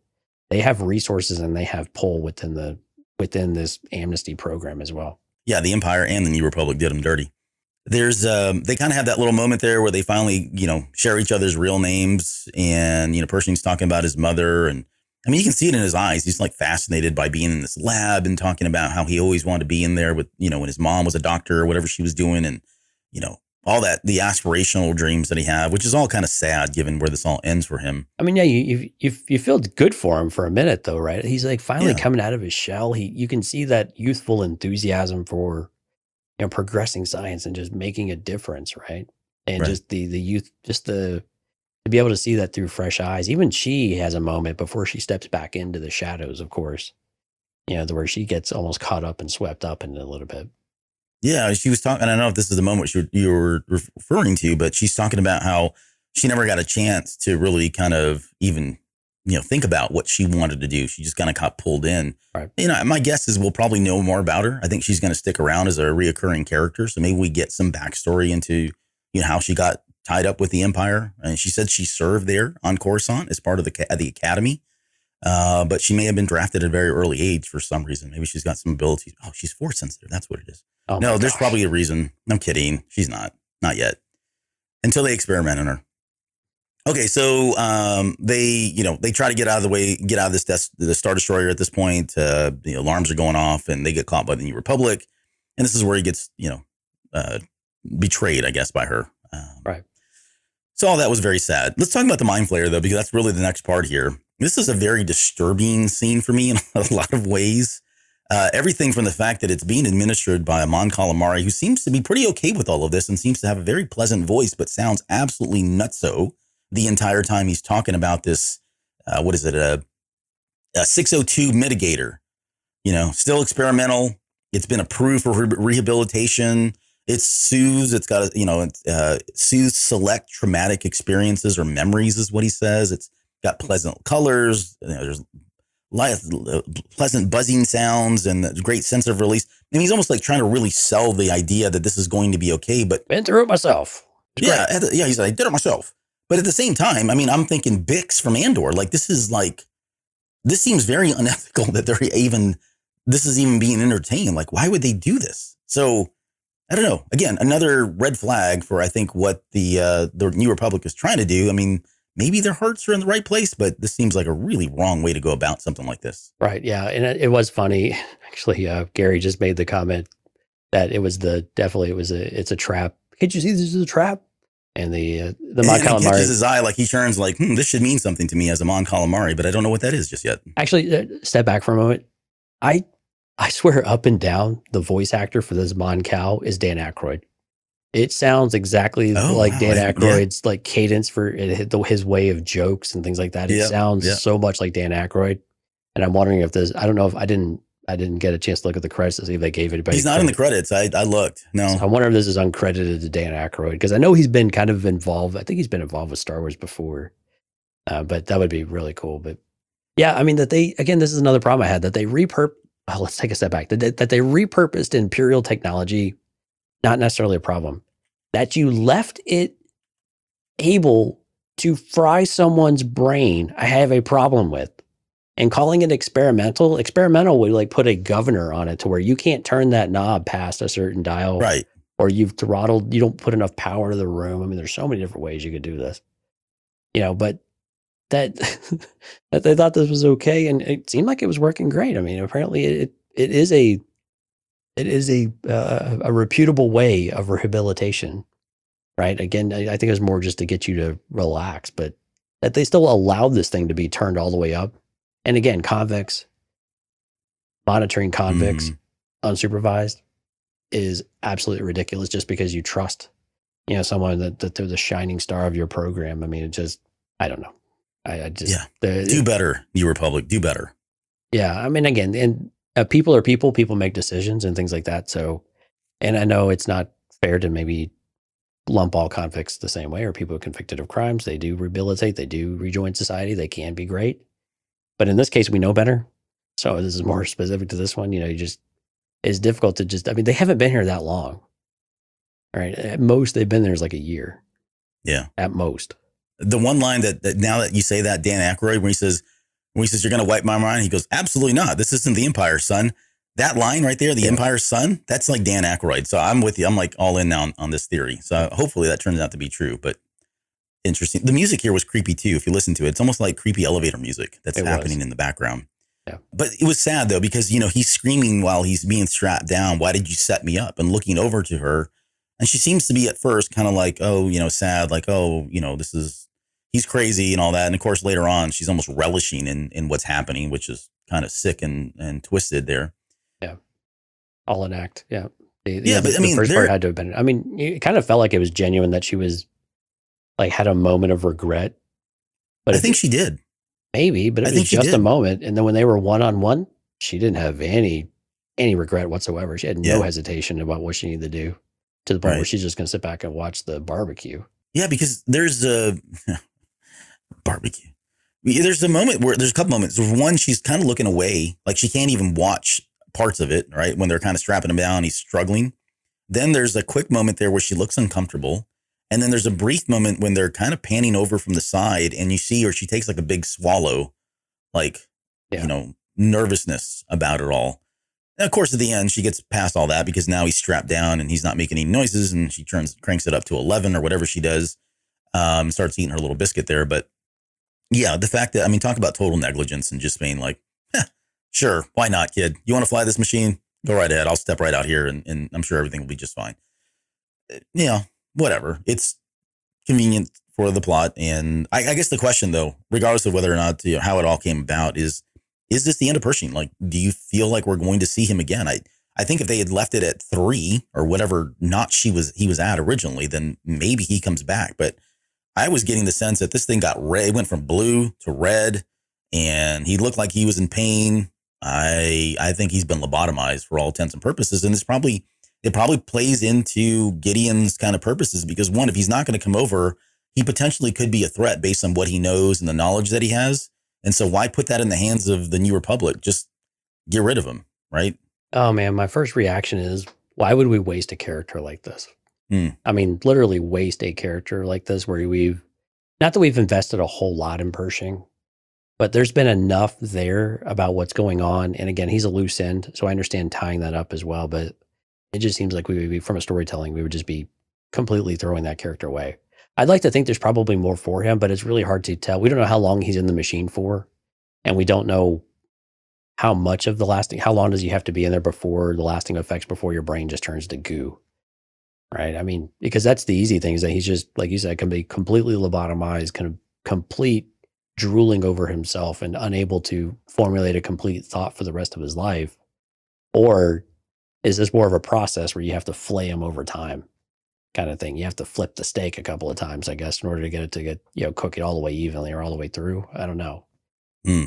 you don't flip steaks by the way. Don't don't do that. But anyway so it's just a i don't know. I, I would like to think that they haven't just completely blown this character off. But the way they leave it i mean that's what they want us to believe at the very least. But i i don't know. I honestly don't know in this case. I think we will revisit him but i'm very concerned about what will go now if you go back to bix though and andor you know she was heavily incapacitated with the torture device and things like that. And she was able to make progress towards being herself again. And presumably she will continue to be. So maybe there's hope that this isn't necessarily permanent, that it, it does, it would take sustained viewings or sustained experience of all of this for, you know, for him to go through this experience over and over, for it to truly have permanent effects to where he is still something of a functioning character. I, I would hope that Mm. would be the case. I like the character of Pershing enough to where I hope we haven't just thrown him away. Yeah, I hope so as well. I think the only thing that I like that idea. The the only thing I don't like that probably could happen is the fact that with with Bix, it was a torturous thing, right? It was just traumatic and experience, and you would think over time you probably can recover from that, even though it was you know pretty emotionally disturbing. Right. But this seemed like it was uh, what he said was this uh, wiped away memories, and so I don't know what they were trying to wipe away by going to three exactly. Maybe this any any thought or idea that he could be part of you know what was once the what he the work that he was doing as part of the Galactic Empire. Maybe that's what they were trying to wipe away. But going to eleven or joking, but whatever they crank that thing up to, it seems like that probably is going to wipe away a lot of memories, too many memories, where he's no longer even remembers who he is or what he used to do. You know what would be cool? And I'm not saying they're going to do this, but if there's one person that could fix him, and it could be a returned favor, is Grogu like Grogu being able to use the Force, go into his mind, re- restore him, heal him in that way would be a kind of a, a, sweet little moment in season six that we get. Or maybe this is how we see Grogu unlocking his own memories at the Jedi Temple during Order 66. Oh, maybe. maybe Pershing is force sensitive and it comes back on Grogu. oh, stop it. You're just playing right into my little uh, orchestra here. Okay, well, enough of Pershing and that group. Let's get back to the final moments here. Uh, we get back to the cult. I'm sorry. Uh, we get back to the con- the, the family. The family. The family. Um, right. But Mando's bringing her to meet the family, so it's you know getting serious at this point. Um, he says there's the secret location. Right. This is how they've existed for so long. She's like, yeah, I know. Um, he says they still live by the old ways, and she has to keep her helmet on, which I'm, I'm now she's just rolling her eyes at this moment. Like, you're right. This is like taking you home to see mom and dad. Look, this will set my mom off don't do this. Yeah. I don't want her to hate you on day one. right. Don't mind dad's shotgun that'll have out at all times. Uh, dad's a blow. Yeah, dad, dad, dad'll blow over. He'll, he'll, you'll love him. But mom, she's a bit of a hard ass. Yeah. Don't take that helmet off. right. So they show up, and of course they're greeted by Paz, who's kind of a, a big jerk. I, I, I like Paz. Like he just he's a great he's welcoming a, committee man. Oh yeah, like nothing says we've missed you than Paz showing up of all people. Big party foul that he is. Big doofus. Yeah. Uh, but you know, they they kind of challenge like, hey, you're both apostates, you know, especially you. And uh, you know, we already talked about how she was kind of looking at him like, bro, do you know who I'm talking you know talking to right now? Like, do you even know who I am? It was cool that she knew that he knew that she was a Nite Owl, though. I thought that was kind of cool that they were still. I mean, you got the decoration, all sure, of that, sure, sure. But that he knew that she was a Nite Owl, but didn't recognize her status in the Nite Owls. I guess maybe yes, there's not yeah. enough markings to differentiate, but yeah, I, I did like that he called her as a Nite Owl though. Man, they're very distinguished. I mean, even if you look at all the other clans and the people that are they're running around with right now, they don't all have like you know very significant markings that that kind of specify their clans or the group. So yeah, they're definitely not ornate in that kind of way. They'll have a sigil and that's about it. Yeah, I mean, these guys looked like they were just piecemeal together from whatever they could find. They different colors. Three year old with a crayon box, just right. Yeah, the color the color palette was pretty limited. Um, it was like eight bit color for most of those guys. But yeah, they uh, they he mentions that the uh, clan Kryze has fallen from the way. Kind of a dig on her, you know, whatever. They end up going in. He says, "I've got proof," and so they allow him to come back in. And then we get the whole, the meeting with the armorer. Takes a vow. We mentioned that she kind of threw it in the water there. I don't. There's got to be some special magical properties about the water now, right? I mean, yeah. I never put two and together, two and two together that she, that's what she was using in season one and season two, and I forget exactly when she was doing it, but now it's like, oh yeah, she was putting crap in the water or putting stuff in whatever that was, yeah. and it was doing things, and it did the same thing this time. So it looks like that is it's at least legit from that perspective. Um, but you know, she didn't she didn't balk at Bo Katan saying I was there, I was a witness, I saw the whole thing. I was really surprised by that too. I, I mean, that she was just. But again, I think this maybe this speaks to the armor. The armor doesn't really hold well, she does hold grudges, but when you when you follow the way or you do the thing, she she is such a staunch believer that the rest of it just doesn't matter. If you have been redeemed in the eyes of the Mandalore, then you are redeemed and that's it. You have a blank slate. It's like nothing happened before that. These none of the transgressions have happened before that. Mm-hmm. And you are back on equal footing with everyone else. You are now part of the family again.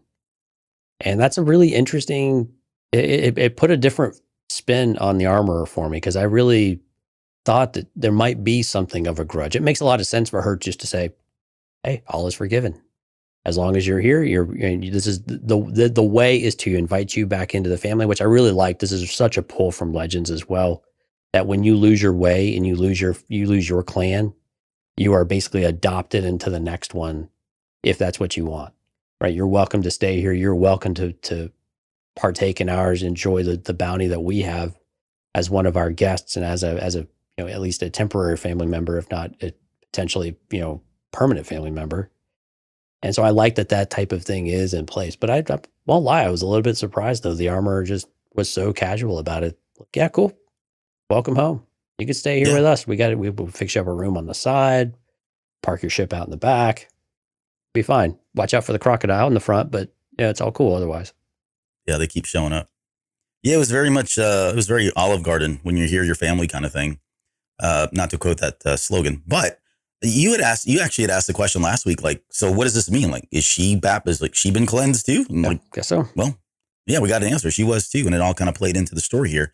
But she says, "I don't walk the way." Right. Well, yeah, it goes to confirm that the rest of what you say and all of the words and all that crap don't mean anything. It's literally you.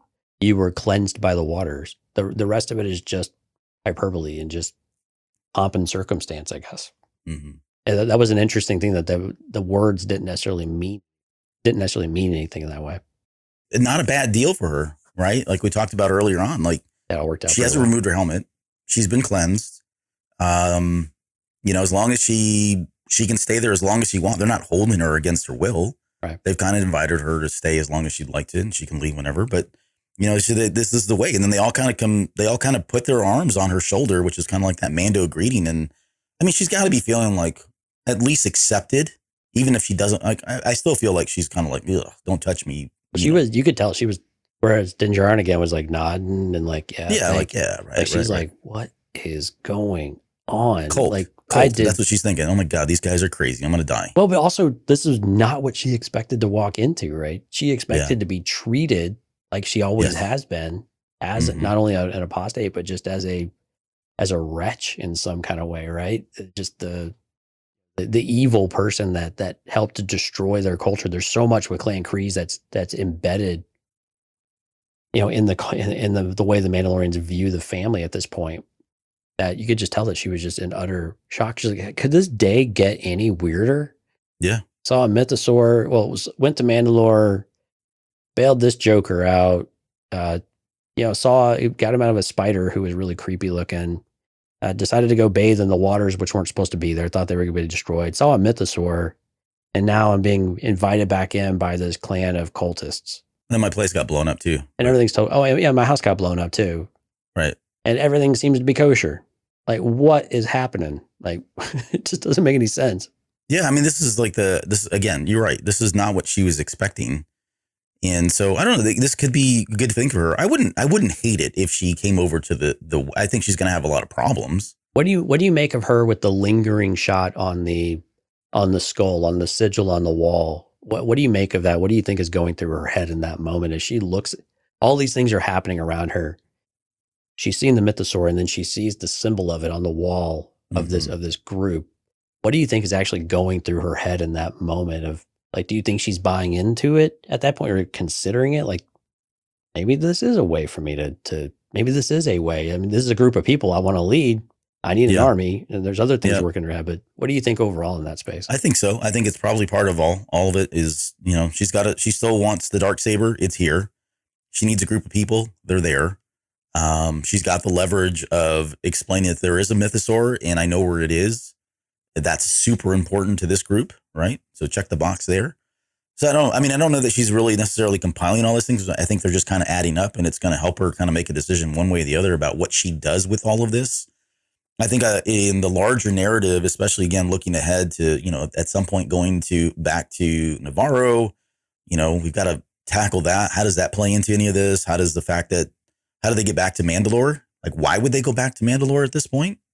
That's another question. I don't know the answer to. It seems a little nebulous. So how would they get back there uh, if they do? It would be a shame though, because that's all we got from Mandalore.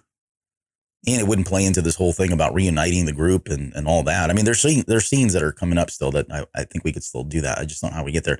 But yeah, looking at the signet, I think it's just a reminder of what she saw. And like how her faith is is starting to shift and change a little bit. Maybe not shift and change, but you know, we talked about on that that line, right? That bar of where your religion is and where your faith is, and maybe it's just moving over a little bit, you know, more to, to the central centric uh, as opposed to the far right, where it's probably been for a very long time for her. One of these ideas of potential like divine intervention, right? Some sometimes you are given a sign so strong that you just can't you, can't you just can't ignore it anymore. Mm-hmm. You know, and like you said, losing her home, seeing the mythosaur, being invited, you know, bathing, even if indirectly or not intentionally, coming back into a group of people that maybe she could eventually lead under the right circumstances. And you're right. All these things are just falling into place. You can't you can't ignore divine intervention in some kind of way or, or some sort of will of the force. Will of the force. Will of the force. There you go. Yeah. Mm. Will of the Mandalore at this point. Will of the dark saber. But anyway, it yeah, it's just it's just too many things, right? But it's just interesting to try to feel your way through what she's thinking. And the the question that came to mind though, at the end of the day, is will she betray this group of people on some level at some point? Will she betray the trust of all of them and this this gift they've kind of given to her unexpectedly and un, didn't ask for it and a bit unrequited as well? Do you think that she'll turn on them in some way or betray the, this generosity and this this welcoming that they've given her? I don't think so. Like in my heart now, as much as I want Mando to be the Mandalore, I've been kind of, I started saying last episode, I think I'm starting to kind of shift away from that a little bit more.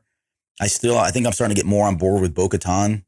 Like, what a, what a way for her to like come full circle, right? Having the dark saber and really not having the skills or the power or whatever it is that she needed to kind of be the leader of Mandalore. But I like this idea that through Din Djarin's intervention and spending time with this cult, with the, sorry, with the watch or children of the watch, that she starts to realize that really the best way to kind of bring these people is to get to know them.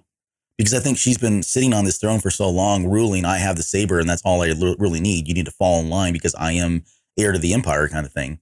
Now, that's a very different, like, that's not going to work for the Mandalorians. And I think that's right. what she found out. I mean, even the armorer said that she was the reason why they were in this predicament in the first place. Her house was exactly the reason why.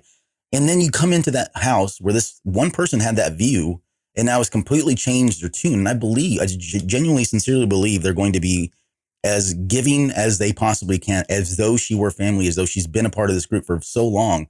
And I think that's going to really open her eyes to like, okay, yeah, these people are probably still crazy, but their heart's in the right place, right? And this may be the first part of getting to know this group and her realizing that she's just going to have to get to know all the other groups too. That leading isn't about just having, like you said, the symbols, right? That's it's more than that. Uh, maybe this is an opportunity for her to kind of take those first steps and really trying to understand what is it about all of these different groups that makes us so different and how do I bring them together? That's more powerful. Uh, that's more, it's easier for her to, to rise to power with that approach than just simply saying, this is my birthright, as Paz said, right? Or as she was saying when she had the dark saber. So I can kind of see where that maybe this is those, these are those first steps and she could be a nice intermediary, right? A nice liaison to the other group saying, look, these guys really aren't that bad. I spent time with them. I broke bread with them. This is really what they mean. They're good hearted people, even if they don't take their helmet off and they smell whatever we it all, is. We all ate under our masks together. That's why, exactly. They have ways of getting around this stuff, but they're really not bad people. And so we really need to open our eyes and, and kind of accept them as, you know, as Mandalorians like everybody else, right? So uh, uh, there's a lot here. I'm, I'm, i know, and we're not going to get all this in what we're almost at the halfway mark at this point, right? So I don't know if we're going to get all that, but maybe, maybe this is the start of all that for her.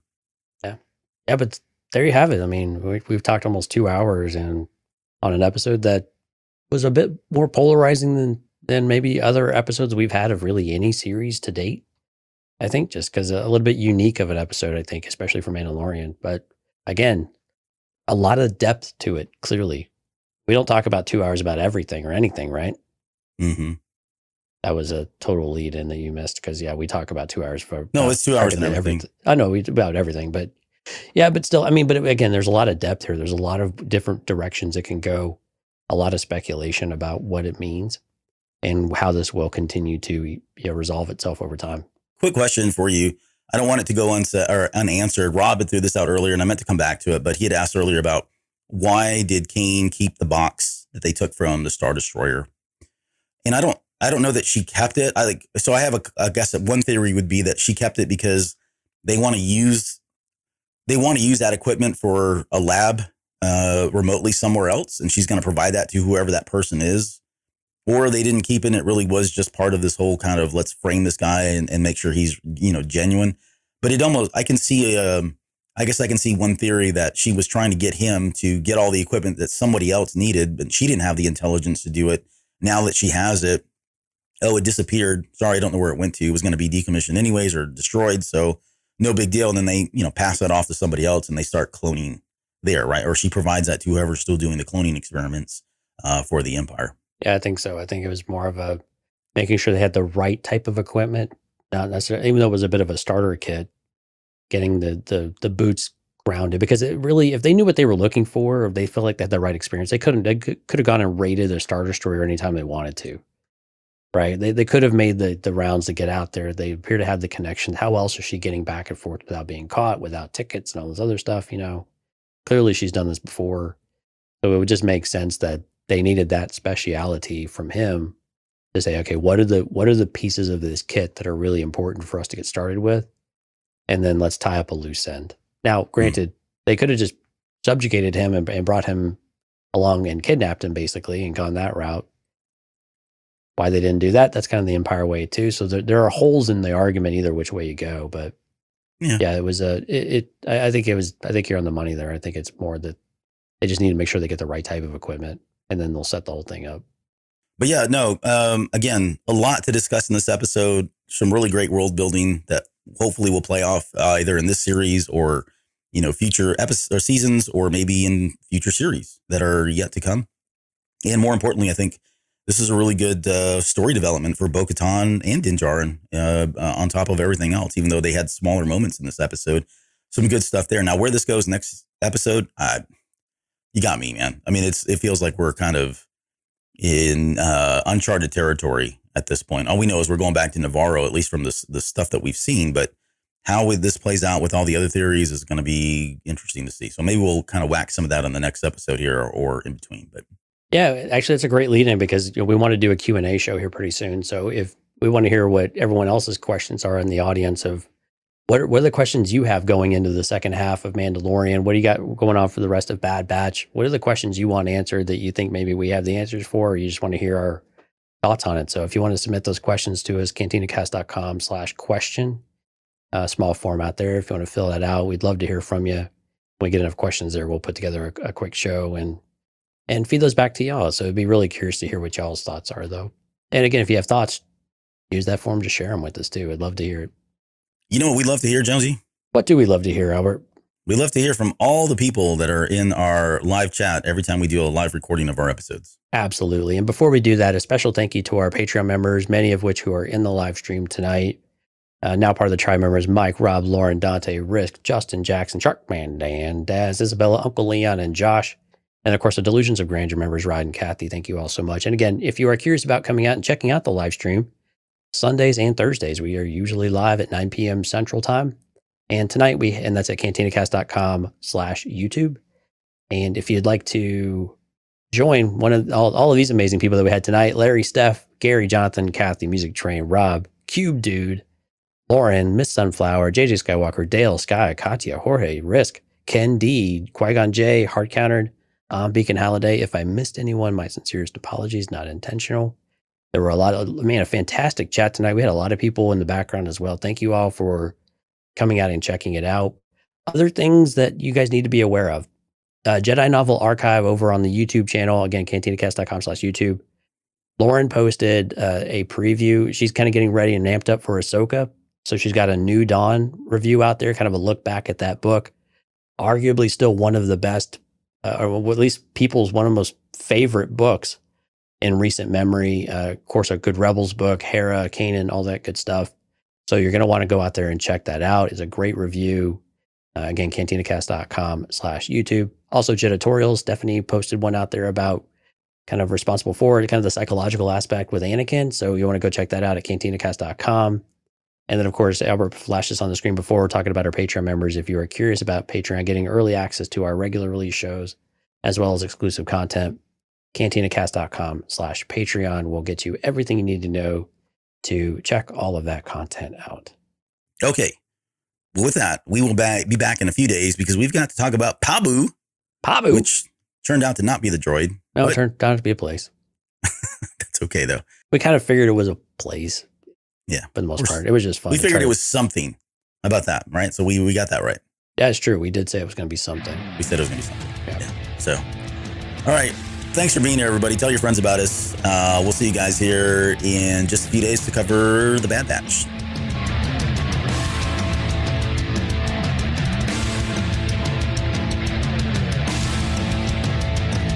You're still listening? Wow, that's amazing. Well, I'm here to give you the disclaimer.